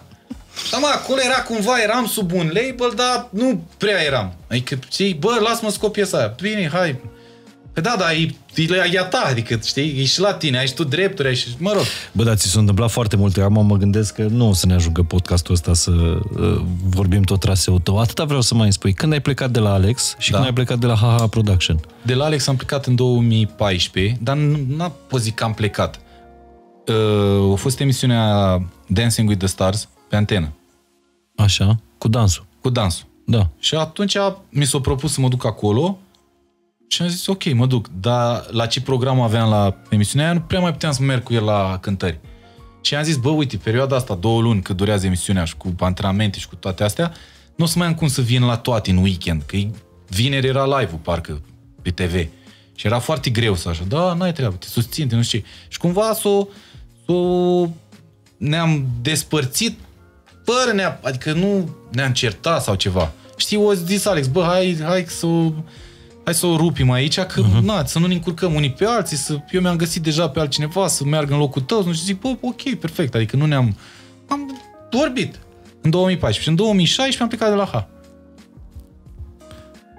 Unde erai producător și artist. Eram și producător și artist și, na, am avut eu frustrările mele acolo, că nu sunt plan nimic și că nu se punea accentul pe treaba. Făceam, nu, pe lângă treaba aia, făceam foarte multe muzică care nu se lansa. Și eu simțeam cumva că pierd timpul. Zic, bă, că ei aveau treaba asta, două piese pe an, single-uri, radio, foaie verde. Ceea ce pot înțelege, că e un business. Uh-huh. Dar eu mi-am făcut un cal, zic, a, deci eu în 10 ani scot 20 de piese? Un album? Păi nu există. ok, dacă fac doar 4 pe an, da, pot să scot două. Dar dacă eu fac două pe săptămână? Ok, nu sunt toate bune sau ceva. Nu cred că...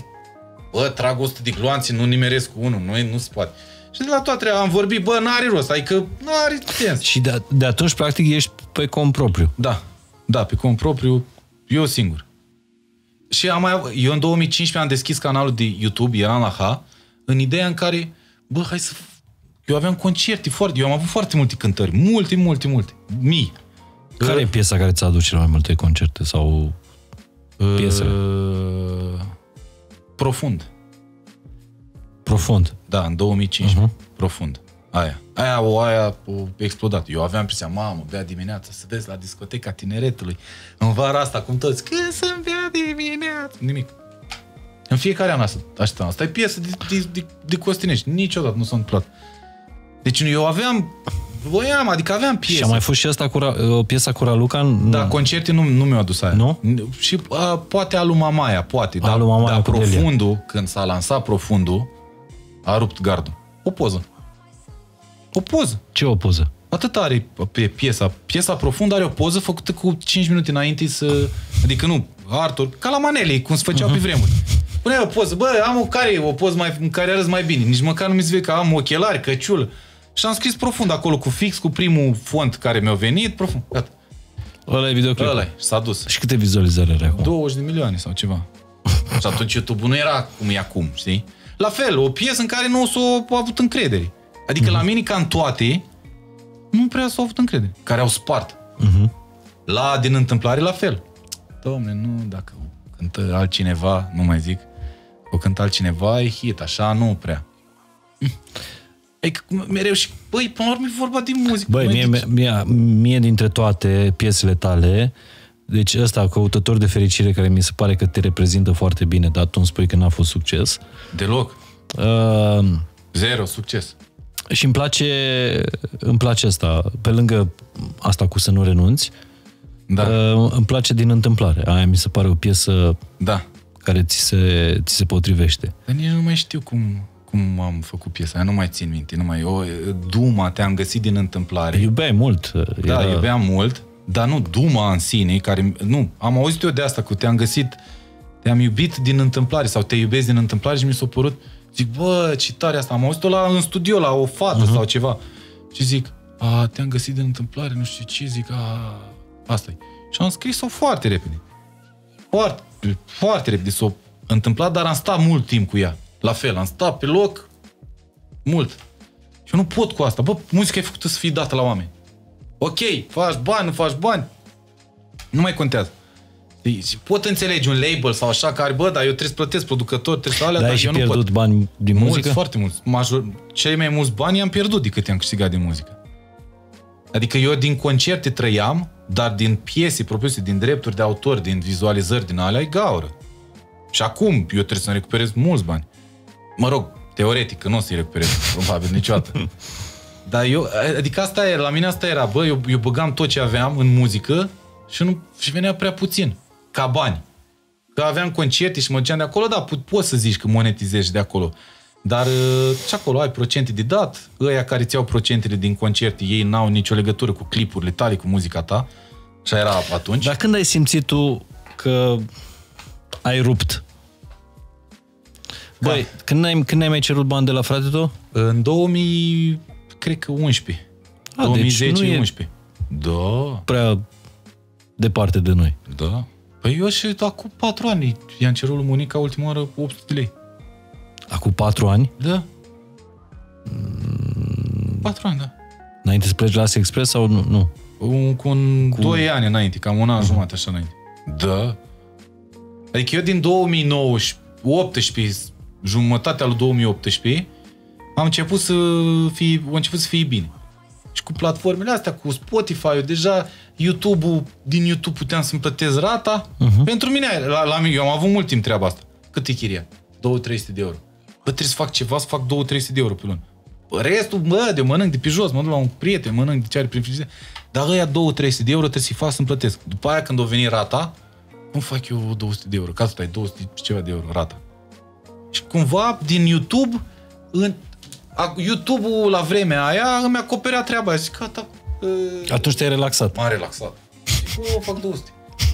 Bă, tu, ce fac? Filmez astea? A, a, la concert mi și plăcea. Uh-huh. Mergeam și prin... Și așa ai făcut vloguri ca să-ți plătești chiria. Nu, da, eu când am dat drumul la canal, eu le-am făcut doar ca să, uh, să-mi rămână mie niște amintiri din concerte, pentru că eu cu Alex, când am mers prin cântări, nu prea am avut filmări decât ăia care filmau de acolo.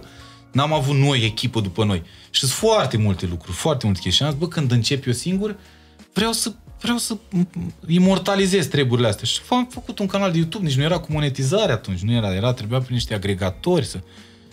Mă rog, tot niște voci de astea. Da, domne, dar ce faci tu YouTube? Că ai tu YouTube, că tu ești artist.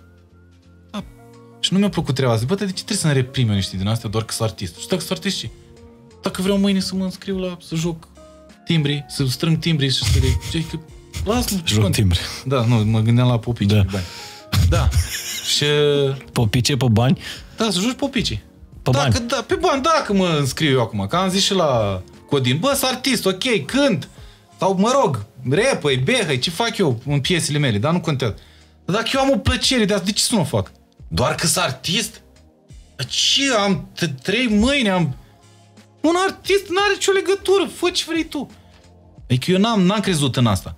Sau, uh, că eu am, eu am fost și în, și în generația aia, printre ăia care și cântau și și repăiau. Uh-huh. Mamă, și să, să aprindea lumea din industrie. Dar tu ce faci? Cânt sau dai rap? Dar fac ce vreau eu, ești nebun. Cum? Dar dacă mie îmi vin să dau rap, ok, nu-s rapper.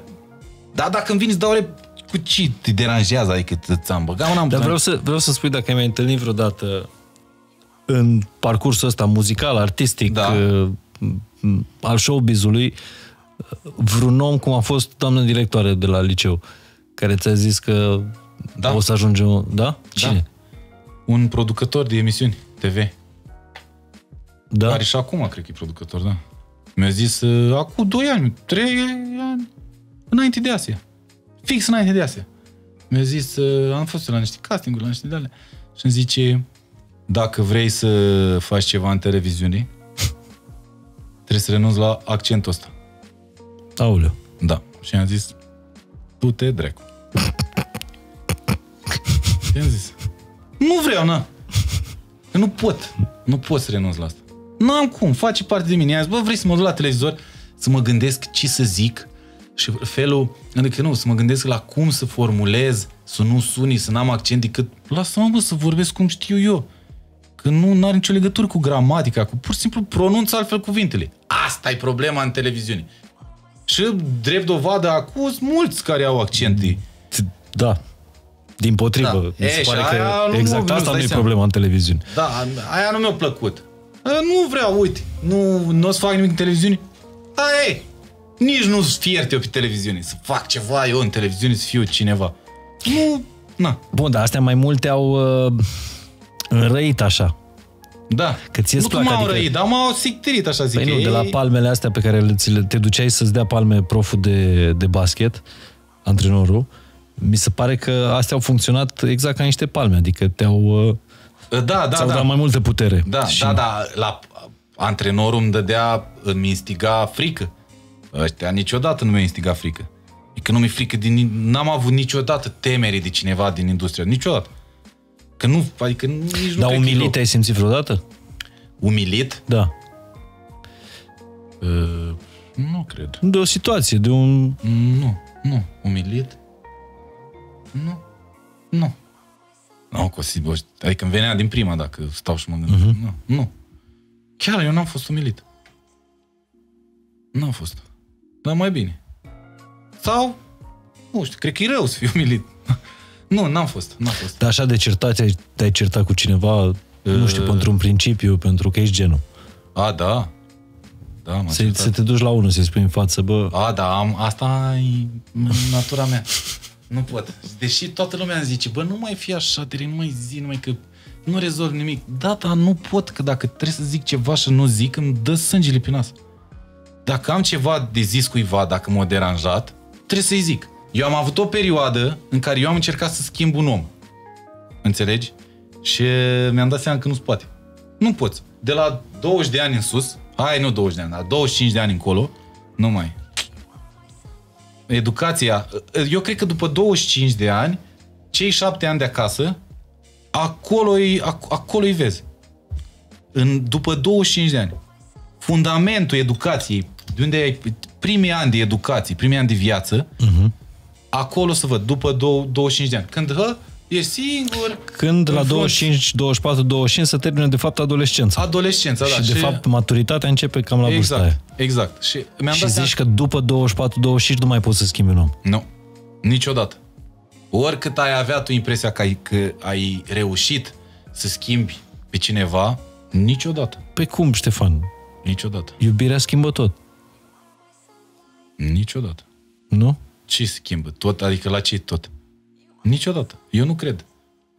Nu cred. Eu am, am, am trăit-o pe pielea mea și am mai avut oameni în jurul meu care au venit și au plecat și pe care am încercat să, nu neapărat să-i, să-i schimb, dar să le, să le, să evoluăm împreună. Și nu s-a putut.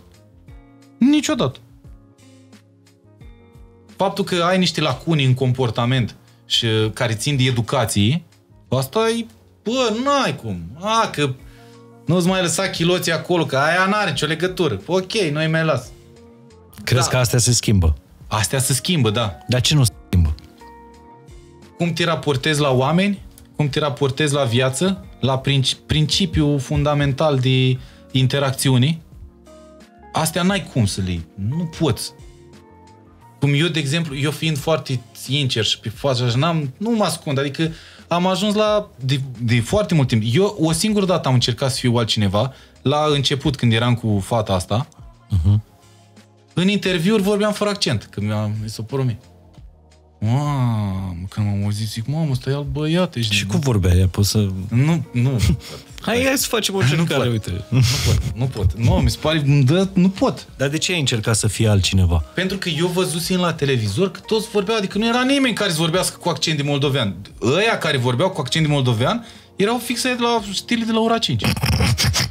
Ăia, adică pentru mine când auzeam un interviu la televizor cu accent de moldovean, erau băieții în capul meu. Deci tu ai dus accentul de moldovean în prime time, da, cea da, mai da, da, vizionată emisiune no, da, din istorie. Asta era așa, Asia se Express. întâmpla cu...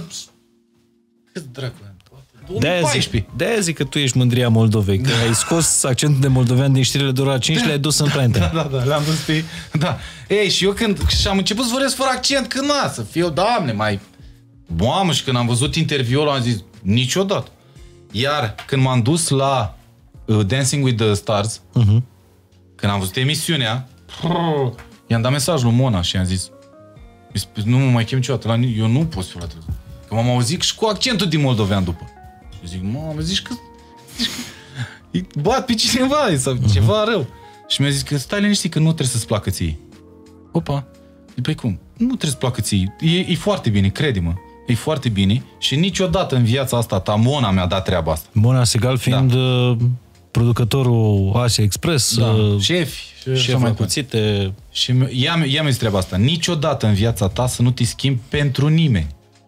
Niciodată. Bă, și treaba asta mi-a dat zic, bine. Da, a încercat cineva să te schimbe? Da, fata... Din Relația bine cunoscută. Da. Deși nu s-o terminat cum trebuie între noi și așa, mie mi-a adus cel mai mare plus din ultima perioadă pe partea uh, de inteligență emoțională.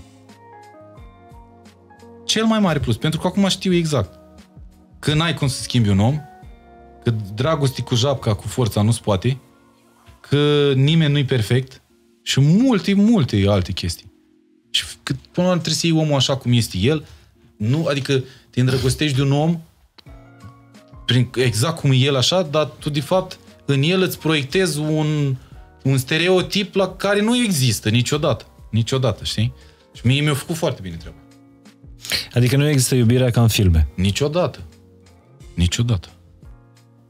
Păi că filme. Că dacă ar fi iubirea ca în realitate, s-ar închide filmul în 10 minute. Eu dup- după treaba aia, bă, acum parcă judec altfel lucrurile.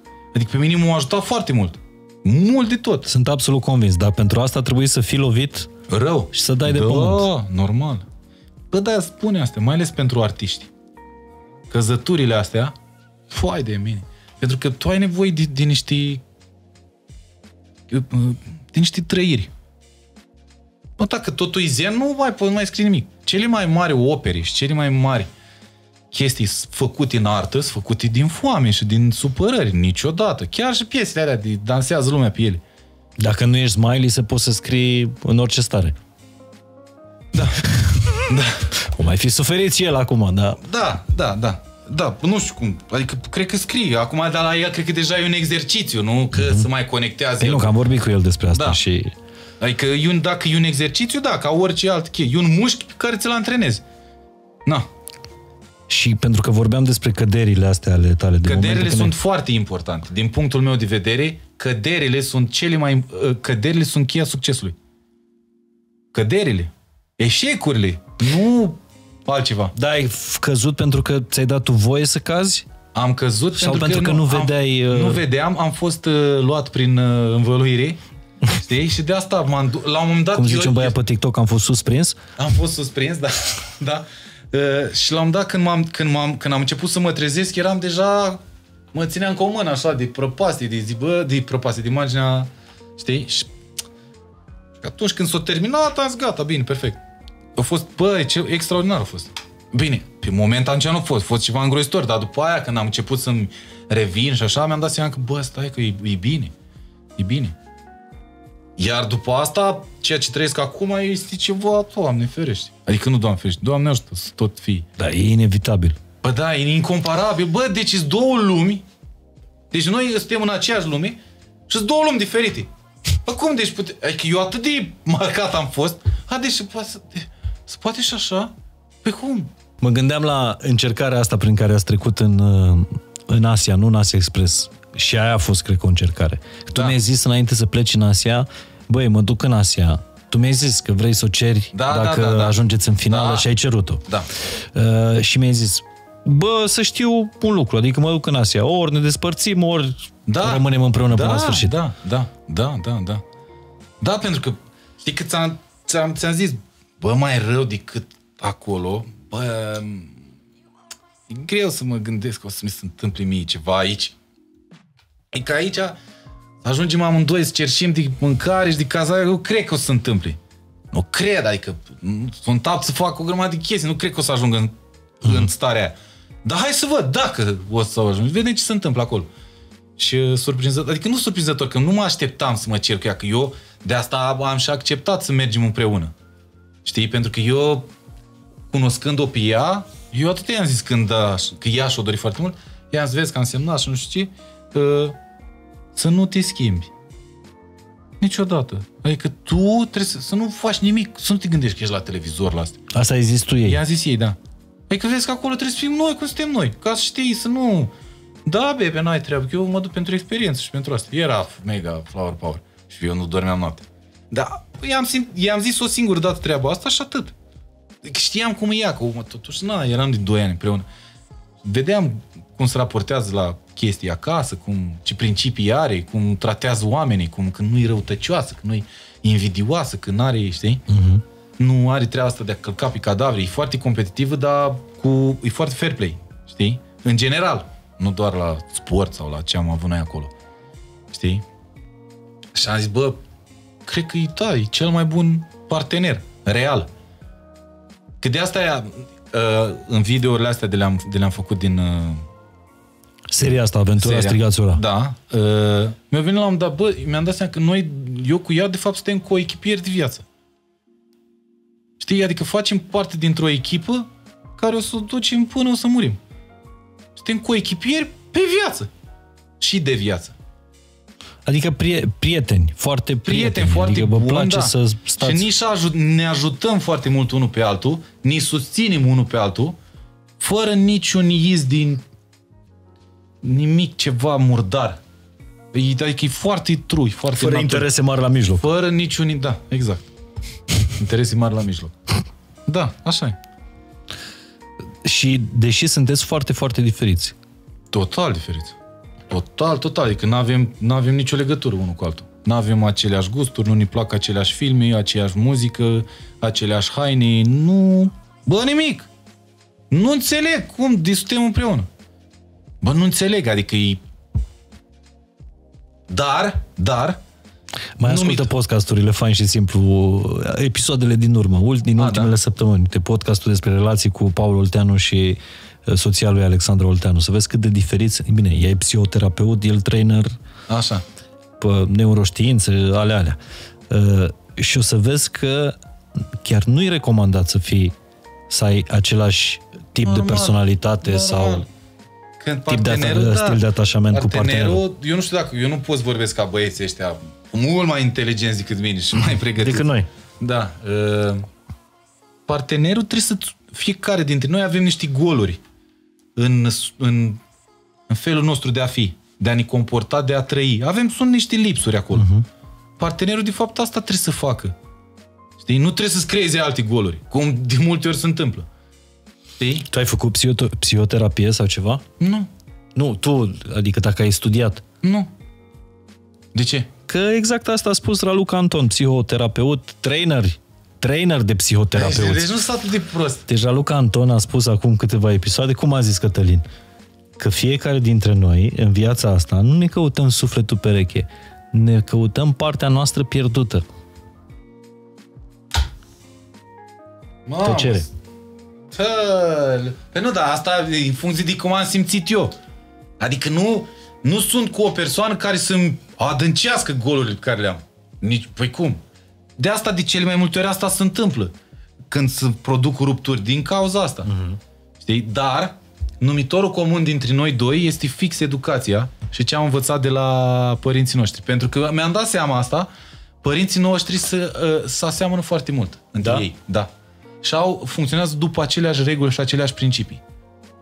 Și asta, uite, vezi, ea au primit o anumită educație acasă și a fost foarte iubită și uh, i s-a insuflat treaba asta că e foarte importantă relația și căsătoria și uh, partenerul să fie uh, respectat, să nu-l jignești, să nu faci rău în general și ca și la mine, de altfel. Înțelegi? Și la... Eu din ce am văzut, de-a lungul timpului, ăștia care sunt sau Așa. astea, sau ăștia, că sunt și băieți, nu doar Oho. fete, așa, e din, uh, e de, de acasă treaba. Dar cu toți suntem Cu toți suntem, mai da. mult sau mai... Mai mult, mai sau mai puțin, sau acum depinde fiecare cu ce... Exact. Știi, cu care rezonează. Dar vestea bună este că toate lucrurile astea se pot uh, trata, repara. Uh, Îți crezi? Nu. nu crezi? Nu cred niciodată. Dacă vrei, stai un pic, nu tu poți să-l schimbi pe partener. Dacă partenerul vrea să se schimbe sau tu vrei să te Dacă schimbi. partenerul vrea să... se- Sau nu, hai să nu mai vorbim de partener. Dacă ăla, care are... Exact. E Hegeș, vrea să se schimbe, da, să zicem că depune un efort și un exercițiu al minții. Așa. Da, dar tu n-ai cum să-i însufli unui om treaba asta dacă, într-adevăr, dacă nu, nu vrea. Dar și dacă, cum zic eu, bă, noi, ni- noi când suntem mici, în, în acei șapte ani de educație, la fel, nu știu, eu vorbesc după cu limbajul După ce știi, da. Da. Ce ai nu văzut, ni ce se ai scrie trăit. un cod. Că ajungem la matematică. N- Nouă, în comportament și în, în uh, construirea caracterului, în aia șapte ani de acasă, că de fapt aia e joaca. Noi, că stă mai ta, ce ți-o zis ea în primii șapte ani, aia e. Asta e o, da, mă rog, toată lumea știe. În aia șapte ani, nouă, ni se scrie un cod. Tu ca să, uh, să ștergi codul ăla, să reprogramezi uh-huh. treaba, cum, tre- cum faci? Vii cu update-uri. Da? Vii cu update-uri trecând prin experiențe, uh, având trăiri uh-huh. și așa mai departe. Și cunoscând oameni și învățând din greșelile altora și dacă vrei, îți bagi discheta, bagi chipul să te instalezi, dacă nu... Știi? Da. Uh, Vă place podcastul ăsta, nu? Cu... Da. Mie mi se pare că ești foarte matur emoțional și ai ajuns la maturitatea asta emoțională pe lângă, mă rog, toate experiențele tale din, uh, din copilărie Da, nu știu, da, adică nu știu... și prin toate loviturile astea pe care le-ai încasat uh, Da, emoțional, pe partea de Da. astea de, de Ești love, tăbăcit. pe- de love și de astea... ești doctor. Îs- Da, Așa mă Știi cum e pacientul ăla care stă în spital ani de zile, Da. ajunge la un moment dat să vorbească precum doctorul, adică vorbește da. în limbaj de specialitate. E, și, și uite, prima chestie pe care eu, eu, și eu și fratele meu am, am avut-o, eu nu mai am acum, noi nu știam să zicem nu. Nu știam. Cumva, mă, ai, mă gândeam foarte mult dacă... Acum, el încă o mai are, nu prea aștept, adică știi să zic, eu acum nu, nu mai. În general, la lucru, știi? Și odată cu toată tăbăceala asta am învățat treaba asta, a zis să, să zic nu. Adică să refuzi. să refuz Propuneri care nu ți se potrivesc, da, dar nu neapărat, nu campanii neapărat care... la propuneri, la felul de a trăi, la felul de a interacționa, la felul de a uh-huh. conviețui cu cineva. Bă, când am de zis ceva, nu, nu vreau, nu sunt de acord. Bă, nu sunt de acord. De- Și îmi spun, vin cu niște argumente. Și dacă mi se oferă contra-argumente care să-mi justifice că, bă, e posibil să greșești, eu ascult, că de fapt aici e, aici e joaca. Că, deși eu sunt mai, mai mare decât șoarecul, sunt mai matur, sunt mai așa, vezi că eu ascult mult de ea și ea de mine. Dar eu, chiar dacă ea are 25 de ani, dar sunt niște chestii care, bă, Mamă, au făcut deja 25? da, cu 25, Sunteți împreună de când eram mică. la 20 de ani. La 20 de ani. Da.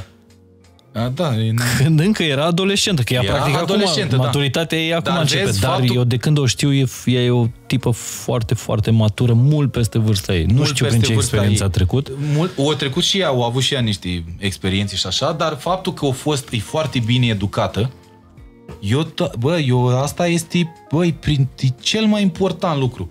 Educația te salvează din foarte multe chestii și te poate, te poate face să te adaptezi în niște condiții în care tu zici niciodată, n-aș, niciodată. Educa mie aia, aia mi se pare, cum zic eu, combustibilul uh, uh, a adaptabilității și a, de, a, de a avea un trai sănătos. Uh-huh. Educație, mie aia. Iar ea este foarte bine educată. De asta nu a avut derapaje. Înțelegi? Și cum treci peste, peste suferință? Că se spune că na, durerea e inevitabilă, Spunând- suferința e temporară. Spunând da la orice. Cum? Spunând da la orice. A, deci ție de aici ți să trage asta cu da, da, da, da, da. Da, da, da, da, da. Și uiți să spui nu. și uiți să spun nu și după aia când ești vindecat, mai poți să le ieși pe nu. Și zici da doar la ce te bucură aici. Adică la, spui Eu da, așa la- am trecut, de Adică? fiecare dată. Adică la ori, orice chestii care venea, orice lucru, orice, bă, orice, Să te scoate din... uh, să mă scoată din zona aia, bă, dacă mă suna un coleg din, sau nu știu, o cunoștință, ceva, bă, hai să mergem la un suc sau am depus acoperiș pe casă, gata, vin. Eu nu până niciodată așa ceva. La orice ziceam, Deci să da. nu stai închis în casă, să nu, nu, stai te... închis în casă, da, și să te, să te agăzi de toate... Mai ales dacă ești o fire anxioasă, cum ești tu. Da. Păi eu 30 de ani, cum am făcut 30 de ani? Eu singur în casă. Singur! Singur. 30. Ceva Bine, rău. și eu am făcut 40 de ani tot în casă, dar nu singur. Ei, eu singur... Crezi că mi imaginam eu vreodată că la 40 de ani, ziua de 40 de ani o să-mi o petrec în casă, în carantină? Nefiind bolnav. Super. Hai, leu.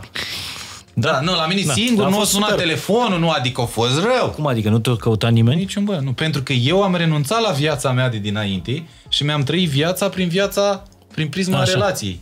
Și când s-a terminat toată treaba, așa m-am trezit, eram, papa, hai că sunt nepot. Singur? Bă, nu suna nimeni. Mă rog, mama, tata și atât. Și frate. Mamă. Niciun băiat, nici nimeni. Și eu i-am ținut, îi țin minte pe toți. De atunci, prietenii, Sanchi, Asta mi se pare la tine, că nu uiți. niciodată. Iert. Mm. Iert, nu, iert. Mm. Iert, da, nu uit. Niciodată, n-am cum. Așa scorpioni. Ai o patimă. Da. Adică, Știu că am trei acasă. dacă, dacă, Dacă o persoană dintre alea care m-au supărat sau care au încercat să mă păcălească sau pur și simplu m-au dat la rahat, bă, dacă mâine mă sună, bă, am, am ceva e rău, te ajut, te-am iertat. Ajut, adică nu, nu poți fi indiferent. A, tu mi-ai făcut aia. Muri. Sau du-te la asta sau ceva. Nu, na, nu pot. De asta zic că iert, iert, că fiecare, bă, poate așa au simțit omul ăla în perioada aia să fac cu mine. Eu, adică, eu dacă îi fac la fel, nu e nicio diferență dintre noi doi. Și eu, sunt, eu, eu consider că am niște principii. Adică dacă tu îmi faci rău, eu nu-ți fac rău, nu, că nu te mai bag în seamă sau, dar nu-ți fac rău voit, adică e rău să faci rău, e foarte simplu. Dar nu te uit. Adică, bă, când o să ai nevoie de ceva, dacă nu-i de, nu-i de viață și de moarte, salut, ce faci? Bine, bă, doar spate, nu pot să... Așa, așa funcționează. Nu crezi că pui prea mult la suflet? Că pui? Da, da. cred. Că, bă, posibil, da. Uite, șoarecul nu e așa. Și ea mereu mă, mă ține și eu, eu încerc să învăț asta de la ea. Bă, pe ea, nu știu, bă, nu afectează lucrurile, nu empatizează mai mult cu animalele decât cu oamenii, care eu și eu am treaba asta, dar are niște chestii astea și-a format o bulă ei așa, din care, bă, mai scoate așa, mai bagă de tu. Oh, nu-mi place aici. E că stau mai bine la mine. Eu nu reușesc Și să... e foarte pe drumul ei, adică și ea da. știe ce vrea. Da, da, da, da. da nu da. are nicio concurență, și eu asta, nicio eu încerc să vă învăț... patimă, nicio pismă. Da, exact. Bă, pe ea dacă o trebuie, bă, te deranjezi? Nu. Nu, nu vrei să schimbi nimic, să ești mulțumită cea mai mulțumit cu viața E foarte mea. mișto să înveți asta de la un partener care e și mult mai tânăr decât tine. Da, eu asta încerc să învăț, că eu mă aprind și mă sunt foarte înverșunat așa când mi se întâmplă cu aia, bă, zici că îți termină viața. Da, ai simțit între tine și Ștefania diferența asta? E totuși o generație între voi. Uh, da, că 10 ani. Doi, da. 10 ani. Așa. Ai simțit uh, diferențe de astea de valori, de cultură, de... Diferență de valori am simțit în, în ceea ce privește istoria și arta și adică ea foarte multe lucruri care ea nu lua contact uh-huh. din trecut sau dacă îi le arăt acum nu îi mai parat de interesante uh, dar cele mai multe diferențe le-am simțit la, la treaba, la gust, la, la diferențe de gust. Bă, îi place muzica, nu știu cum, ei place aia care e mai cum zic eu, e mai de plastic un pic. Uh-huh. Știi? Rezonează și cu muzica veche sau așa, dar nu cu toate. Adică eu uh-huh. mi-mi plac niște piese. Simțurile noastre sunt altfel, sunt crescute în... E altă generație. E altă generație, și cum, da. cum faci să, să nu conteze asta? A, e treaba ei, eu cu treaba mea. Nu am nicio treabă, nu. Nu ne obligăm să...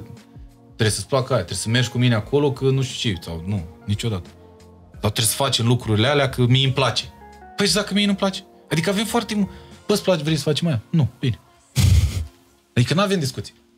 Păi da, dar știi că eu sunt femeie și eu ca femeie am nevoie de niște lucruri din, de genul ăsta și am nevoie de un partener implicat. Dar nici tu nu răspunzi, bă, femeie, eu sunt bărbatul în nu, casă. Nu, nu, nu, niciodată. Ei, bărb, nu sunt. În casă nu există bărbatul în casă. Femeia e miezul. Din punctul meu de vedere. Adică șeful în casă e șoarecul, nu eu. Asta că îmi plac. Mai am eu din asta. Eu sunt șeful în casă. Asta nu există. Nu există. Nu există. Nu există. Asta ne place nouă. E șef în casă dacă mergi pe modelul ăsta al pumnului masă, al fricii, al... Eu majoritatea bărbaților bine, relaxați și liniștiți și așa, bă, au pe cineva extraordinar acasă. Bă, extraordinar. Deci, deci cine e șeful? Deci cine e boss? Că nu poți. Dacă ai probleme acasă, eu mă știu de nume, că ai probleme acasă și acasă nu-i bine. Poți să scrii maxim o melodie valoroasă. Da, atât. și aia înainte când era bine. Când nu mai e bine, da. Dar ce te-a învățat sărăcia? Sau, mă rog, momentele în care dar ți... Că mi-ai spus tu, acum patru ani a trebuit să sun pe Monica să-i cer 800 de lei împrumut. Uh... Acum patru ani, adică nu... A, da, da. Și mi-au dat. I-am dat, cred că i-am dat înapoi. i-am dat, nu, că de obicei plătesc. Cred, cred că i-am dat înapoi, da. I-am dat. Să zici, Monica, să zici dacă ți-am dat bani înapoi. Cu, cu camătă bănuiesc. Nu, nu, nu. Glumesc. Băi, nu știu ce m-a învățat, că se poate trăi cu foarte puțin. Uh-huh. Și că noi ne zbatem după, pentru niște lucruri care, bă, real, nu, nu sunt importante. că de ce n-am aia, că de ce n-am aia. Ei. Dar mie nu mi-e frică de sărăcie. Nu? Păi de acolo vin. Dar nu, chiar nu mi-e frică. Nu mi-e frică. Da, da, atunci cumva toți erau săraci, adică... Păi nu, eu chiar am experimentat asta până nu de foarte mult timp. Și nu mi-e frică, că am, am, am văzut, bă, da, e mai bine când ai și îți permis să faci lucruri, dar, cum zic eu, am zis și la cod dintre asta, banii îți aduc o libertate și un confort. Dar vezi că real sunt aceleași probleme cu capul dacă Da, nu absolut. ești, dacă nu ești, uh, știi? Și mi-am dat seama că, bă, frate, eu trăiam înainte, ok, din sărăcia care avea, făceam lucruri și înainte. E că nu e atât de rău. A, dacă vorbim de sărăcie, când ai un, să dormi, un să mănânci, aia deja nu mai e. Nu, dar zic sărăcie la modul să ai să-ți ajungă aproape, să-ți ajungă banii lună de lună. Uh-huh. Știi? Adică zici, bă, nu pot să dau înainte. Eu aia o numesc. Ante- Pentru unii nu înseamnă asta sărăcie. Apăs pe pedală și mergi în col și nu Da, și nu se știu cum să întâmplă ies. nimic și fac și mă împrumut și fac de luna viitoare și dau ăia înapoi și încerc să mai fac nu știu ce și mai muncesc. Dar ți-ai construit niște mijloace de astea de, de backup ca să nu mai ajungi acolo? Sau... A, da, da, da, da, da. Dar eu întotdeauna, eu întotdeauna ziceam, bă, eu, la, eu dacă aș avea bani mulți, aș ști să-i fac. Aș putea să-i fac, pentru că eu n-am, eu consider, adică acum nu știu, poate zic că prietenii mei, și tu, că tu te, te afli printre ăștia vechi ai mei. Eu m-am schimbat cu ceva? Deloc. Adică, În relație, în, în relații da, umane, ca, nu. Da, în, re- în relații. Absolut nu. inter- Pentru, Uh, da, te-ai schimbat cu ceva în sensul că ești... Uh, apropo de ce spuneai tu, că, uh, că am învățat să zic nu. da. Uh, îți pui mult mai apăsat părerea, știi? Adică ai prins încrederea asta în tine, Ah, ok. ceea ce e normal. Ah, dar nu știu dacă e de la bani asta. Nu, nu, dar nu zic de bani, eu zic de trecerea anilor, că nu de ziceam- trecerea banilor. Da, nu, zi, nu ziceam de sărăcie și așa, pentru că eu știu foarte mulți care când au dat Ah, de nu. bani, și și tu știi foarte mulți, care când au dat de bani, s-au transformat. Deodată, adică deja, bă, nu mai avem aceleași păreri, nu mai avem aceleași principii, nu mai avem, știi, deodată ți s-a schimbat toată, bă, stai o leacă. Da, bă, bă, dacă te arunc toți banii. Te întorci, Te scuturi. te scuturi așa, ești nebun la cap. Eu la modul ăla, știi? A, că valoarea, nu știu, 100 de lei nu mai reprezintă acum ce reprezentau acum 6 ani, 4, 5 ani. Asta e, da, e normal. Dar eu cumva tot merg pe aceleași lucruri și cred în aceleași lucruri, indiferent de care e cum. A fost un moment când ți-ai măturat cercul? A, da, dar nu, nu, fii atent. Sau ți-ai restrâns cercul? Nu că mi-am restrâns, s-o restrâns singur, mă. De la un punct încolo, în viață, dar de fapt nu. Tot cercul ăsta să restrângi, să mărești, să restrângi, să mărești, să restrângi, să mărești. Și uh, când să, când să restrângi, mai, mai rămân și, put, și câțiva din, din momentul în care s-o mărit Uh-huh. și tot așa. Și eu ea așa face. Așa faci și la un moment dat ajung puțini. Adică probabil din când ți-ai, când ți-ai mărit cercul, îți mai rămâne unul de acolo, care, știi, uh-huh. la care nici nu te așteptai. Știi? Dar eu nu depun efort. A, ăsta e așa. Fii atent, eu trebuie să-l urmăresc pe ăsta, să văd ce părere are. Cum nu. E de la sine. Pentru că Oamenii se schimbă, inclusiv noi, ne schimbăm. Și, na, au, automat se întâmplă treaba asta. Da, așa cum basketul ți-a salvat viața, există ceva care ți-a schimbat viața? Uh, da, Vreo experiență? Muzica? Muzica. Basketul mi-a salvat viața, iar muzica mi-a schimbat-o. În bine. Că eu în continuare îți zic, mie muzică îmi place să fac cel mai mult. Adică eu, eu să fac treaba asta până o să mor. Când, și când o să mor, eu o să am o piesă, măcar ceva făcută. Sau, Un eu am, requiem. nu, nu, eu am, Pregătit. am, o, am o piesă. Eu în perioada aia nasoală, eu, mi-am, eu, făceam, eu îmi făceam albumul. Și uh, am, am făcut o piesă care se cheamă Ultimul Drum. Deci Da. ți-ai făcut requiem Da, da, mi-am făcut. M-a sunat mama, plângând. Bă, Leo, ma. Bă, A, tu Leo, îi trimitai piesele mamei, că Da, dar ești pe net, mă. Ultimul drum se cheamă. Deci ca să știți, eu când o să mor și să vorbești cu Tony Teșiu. Când o să mor, Să o dea la radio. Să dați la radio ca să aibă, că îi las lui mama și lui tata sau dacă mor înaintea lor. Să lasă să, drepturi de autor. Ultimul drum se cheamă. Și bă, parcul aude. Ciuciuf, bă, extraordinar. Pă, mori băiatul și să aude piesa. M-am gândit și la asta. M-am gândit, dacă mor. Dacă mor ca prostul și n-am nicio nimic. Să... Eu zic acolo, să nu cu biserica, cu alea. Cu... Să râdiți, să nu chemați preoți, să râdiți, să veniți cu tort, nu cu olivă, nu cu... Să ascult. Deci n-ai frică asta de moarte? Uh, n-am frică de... Adică, ba da, mi-e frică... N-aș vrea să mor acum, că mai am de făcut, adică nu da. am făcut lucruri. Mereu găsești ceva de făcut. Da, dar nu mi-e frică de moarte, să zic așa. Că nu prea pot controla asta. Asta adică dacă nu ești tu nebun să încerci lucruri, să te arunci de pe stânci și mm-hmm. de mhm. pe alea și să nu fii stăpân pe tine. Dar în rest, nu consider, nu, mi-e frică de boală. Adică dacă ar fi să mor, ar, mamă, dacă aud de cu mă zveci mă ceartă, că ei nu-i plac astea deloc. Să vorbești despre lucrurile astea. Da, de moarte. Păi crezi și eu la 20 ceva de ani, altfel da. vezi... Uh... Dar mie, adică dacă ar fi să mor, bă, mă, să nu mă chinui. Știi? Adică nu, mie mi-e frică de boli de astea, de cancer, de sida, de astea incurabile, cumva, de astea mi, mi teamă rău de tot. Dar, la urmă e, dacă se întâmplă, ce... N-am ce să fac. Dar în rest nu mi-e frică de... Nu, nu cred că e finalul. Nu cred.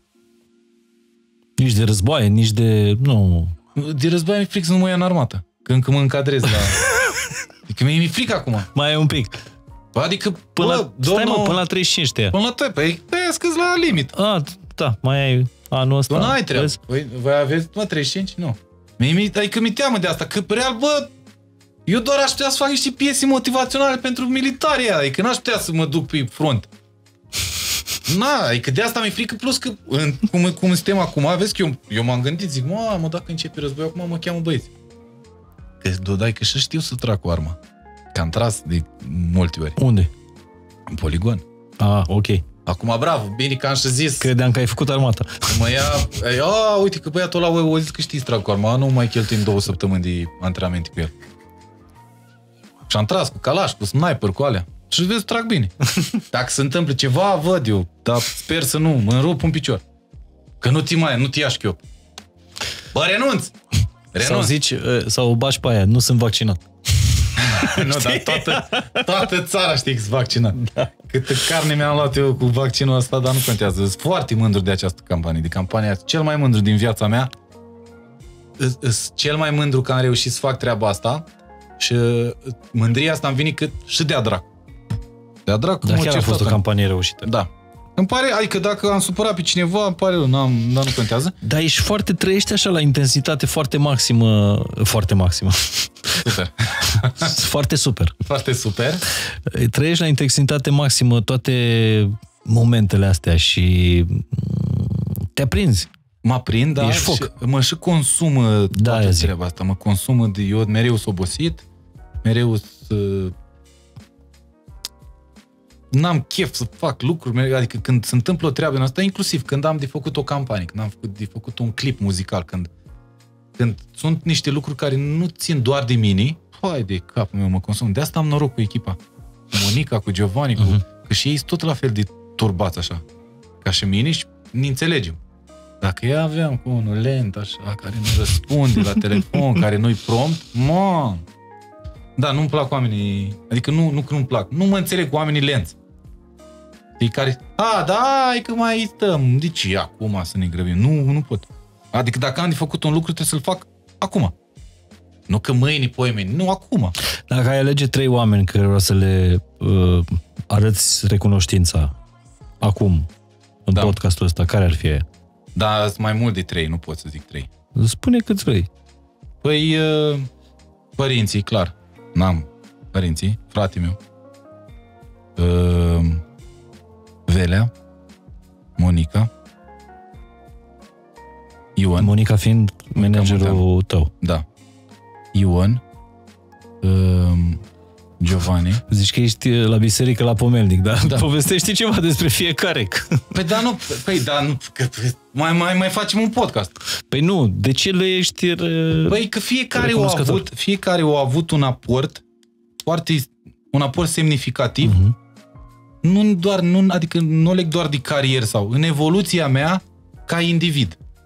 Pe diferite planuri, nici nu contează. Adică eu de la fiecare am învățat și am fost ajutat de fiecare în parte, într-o anumită măsură, ca eu să ajung cine sunt acum, uh-huh. ca individ.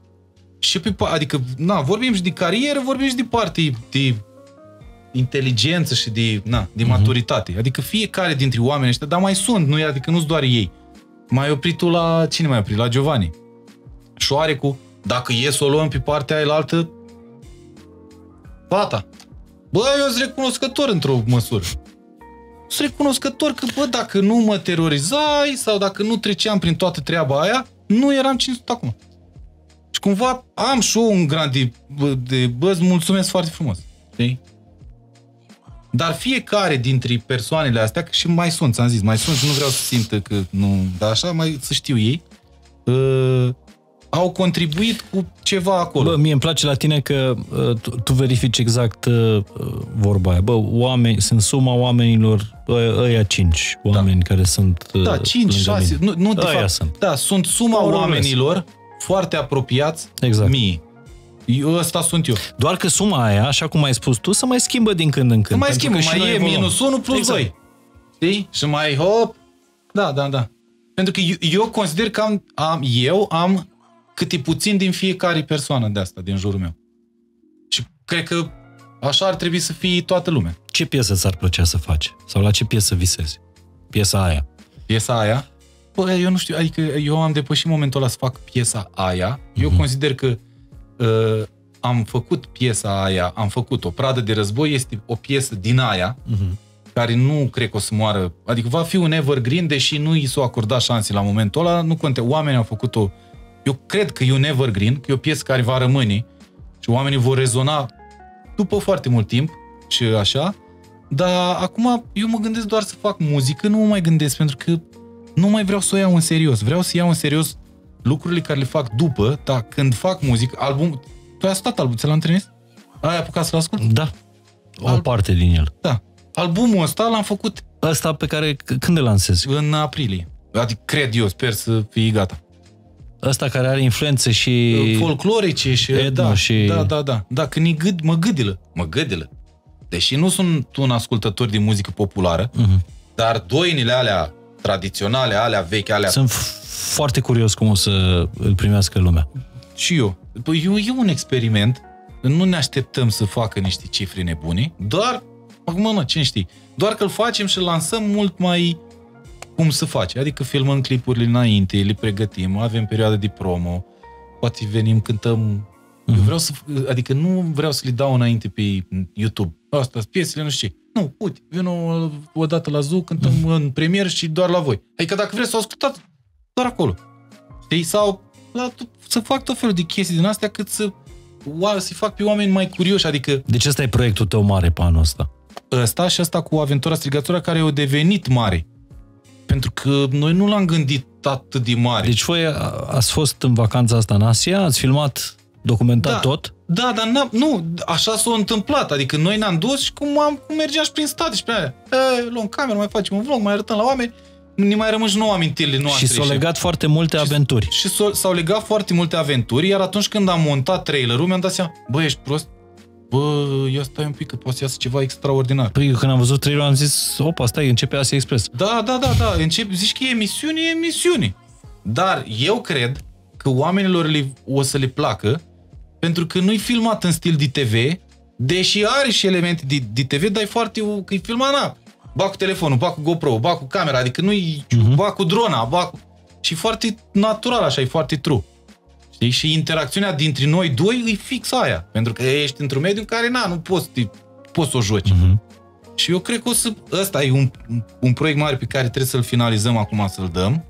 Uh, albumul și plus pregătirea show-ului, de concerte, de astea că dacă dau drumul la lanțuri oamenii, ăștia, autoritățile și așa, o să trebuia să mergem pe la cântări, că bă, mi cam dor. N-ai mai cântat de, pe o scenă de? De mult, pentru că nici n-am mai vrut. Că ai văzut cum e concertul meu, e, e, oamenii fac parte din show. E că să mă duc să Nu prea la... merge cu distanțare la, no. la show-ul tău. Hei, hei, hei. Adică nu, n-am, și am, am refuzat tot, uh-huh. practic. Că au fost cereri și de sărbători și de, mă rog. Și n-am zis, bă, nu, Când e? Ca și cu nunta. O să facem nunta când să dă drumul la treabă. Atunci dăm și noi drumul la treabă. A, deși nunta e alt proiect pe anul ăsta sau... Nu știu dacă anul ăsta. Când s-o dat drumul la treabă, da, cred că anul ăsta, dar nici nu știu când, cât durează să organizez, că na, n-am mai făcut. Gen, Bine nu, că n-ai mai făcut. Și bă, mea, nici nu vreau să mai fac. Că nu. Păi, ar, ar fi culmea acum înainte anunții să zici că... Păi nu, nu mai vreau. Fac și o încercare, dacă nu iese, mai fac una. Da, eu vreau să fii Normal. prima și ultima. Că oricum nu-mi place petrecerea în sine, tot și de prin prisma, deși pare, știi, din motivele alea normale, da, dar, dar din... nu poți să-i refugi Stefaniei plăcerea asta. Păi nu. De a fi mireasă în rochie la nunta ei. Dar ea nu e așa... Nu e cu... Nu. Adică ea nu e, nu e, un, nu e genul ăla de fat care îmi doresc să fiu... Mă îmbrac și odată în mireasă. Nu. Dacă te îmbraci în mireasă, ia o rochie, pune. Fac eu o poză. Da, știi? Adică nu... Dar își dorește, ne dorim o petrecere. Uh-huh. Vii. Venim, da, dacă se, suntem da, chemați, veniți, cum să nu. Vezi că noi suntem mulți, adică trebuie o masă doar pentru familia mea. Păi da, să... dar e darul mai mare. E mai mult meniuri, asta facem și noi Păi bani. nu, că la copii nu se plătește. Păi de ei nu mănâncă? Jumătate de meniu e la copii, vezi. Da, dar tu oricum ai bani. Ai bani, n-ai trebuie, nu-mi fac griji. Deci vezi, Au și fetele alocația strânsă. Uite, cât, e, cât mai e alocația? Acum. Cât mai e alocația? Păi, alocația lor nu e alocația mea. Păi și tu nu știi? Nu știu, habar n-am. Da, cred că sunt niște milioane. Cum zicea Țiriac, uh, bătrânul, șeriful, nu, da. șeriful, care zicea că el uh, a știut că e bogat când nu s-a mai uitat uh, la prețurile din meniu.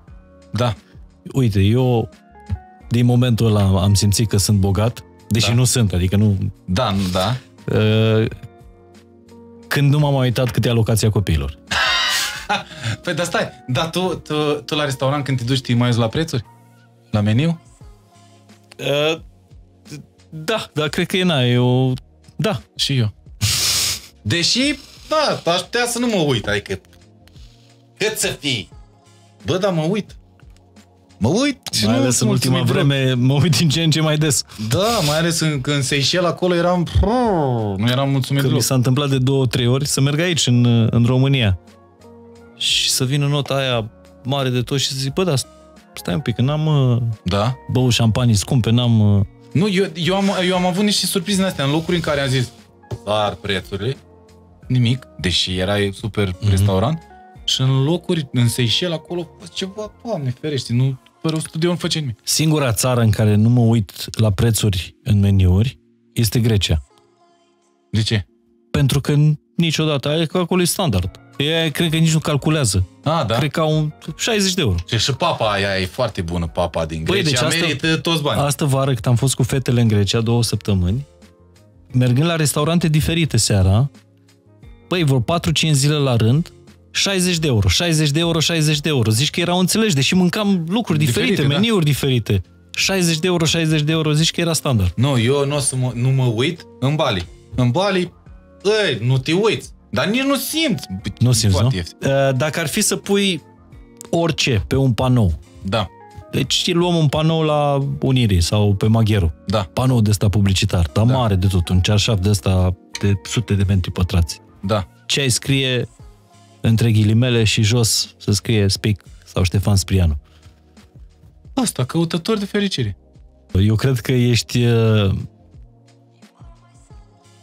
mai mult deep decât toată fața asta pe care o, o afișezi în uh, Păi da, da. reality eu, show-uri, vloguri. Da, da, eu... Tu dai că eu, eu n-am un alter ego de asta, adică eu nu mă... Nu depun niciun efort. Mhm. Toată lumea zice, bă, dar cum faci așa, așa, așa? Păi că pentru mine nu e un efort să le fac. Că nu salt băiat, nu interpretez roluri, nu joc, nu... Adică eu consider că ăsta sunt. Că am și o parte mai deep, cum e normal să... Și prin prisma meseriei și că așa sunt, știi, Că dacă te apuci pe story și încerci să le zici, bă, să începi să vorbești în uh, chestii din astea, schimbă băieții canal. Și nici, nu, nici n-ai, nu-ți vine înapoi, că de lucrurile astea când vorbești, de chestii deep, de chestii spirituale, sufletești, trebuie să ai și un, un feedback. Adică trebuie să, inter- să vorbești și nu mă apuc eu zic, da, eu cred foarte mult în spiritualitate și vă rog și pe voi să faceți treaba asta, dar acum știți cum e cu energiile, cu alea. Păi schimbă băieți. Adică schimbă... Da, știi? depinde de public. Depinde de public, da. Sunt băieți care schimbă, băieți care nu schimbă Da. și uh, băieți care nu se schimbă. Da, Și nici fete care nu se schimbă, Da. după cum ne-a spus uh, Ștefan. Da. El zice că după 25 de ani nu ne mai schimbăm. 100%. Adică, mă rog, nu sunt eu the father of all knowledge acum, dar eu, din experiența mea, oamenii cu care am interacționat, consider că nu, sunt, nu pot schimba omul după 25 de ani. Perfect, asta scriem pe panou. Nu pot schimba omul după, După 25 de ani. Ștefan Sprianu Și 2022. dacă nu vă place, fugiți cât vă țin picioarele. Hai, fugi, mulțumesc mult de tot. Sunt recunoscător, urmăriți-l pe toate platformele uh, lui personale. Omul are acțiuni la Instagram, în curând și la TikTok. da, cum în curând? Păi am TikTok de mult, dar nu fac nimic. Adică, Păi nu, n-ai acțiune încă. am, uh, bă da, am pun podcast, podcasturile, mă mai ia câteodată. Acțiuni, mă, la TikTok, la chinezi. Ah, ok, da, da, da, acțiuni. Credeam că nu sunt Activ. ac- activ, da. Uh, și uh, cel mai important pe YouTube la el, unde Da. a început, cred că atunci când vom difuza podcastul ăsta deja a început aventura, strigați, Ura. v-am pupat. A fost pa. fain și simplu.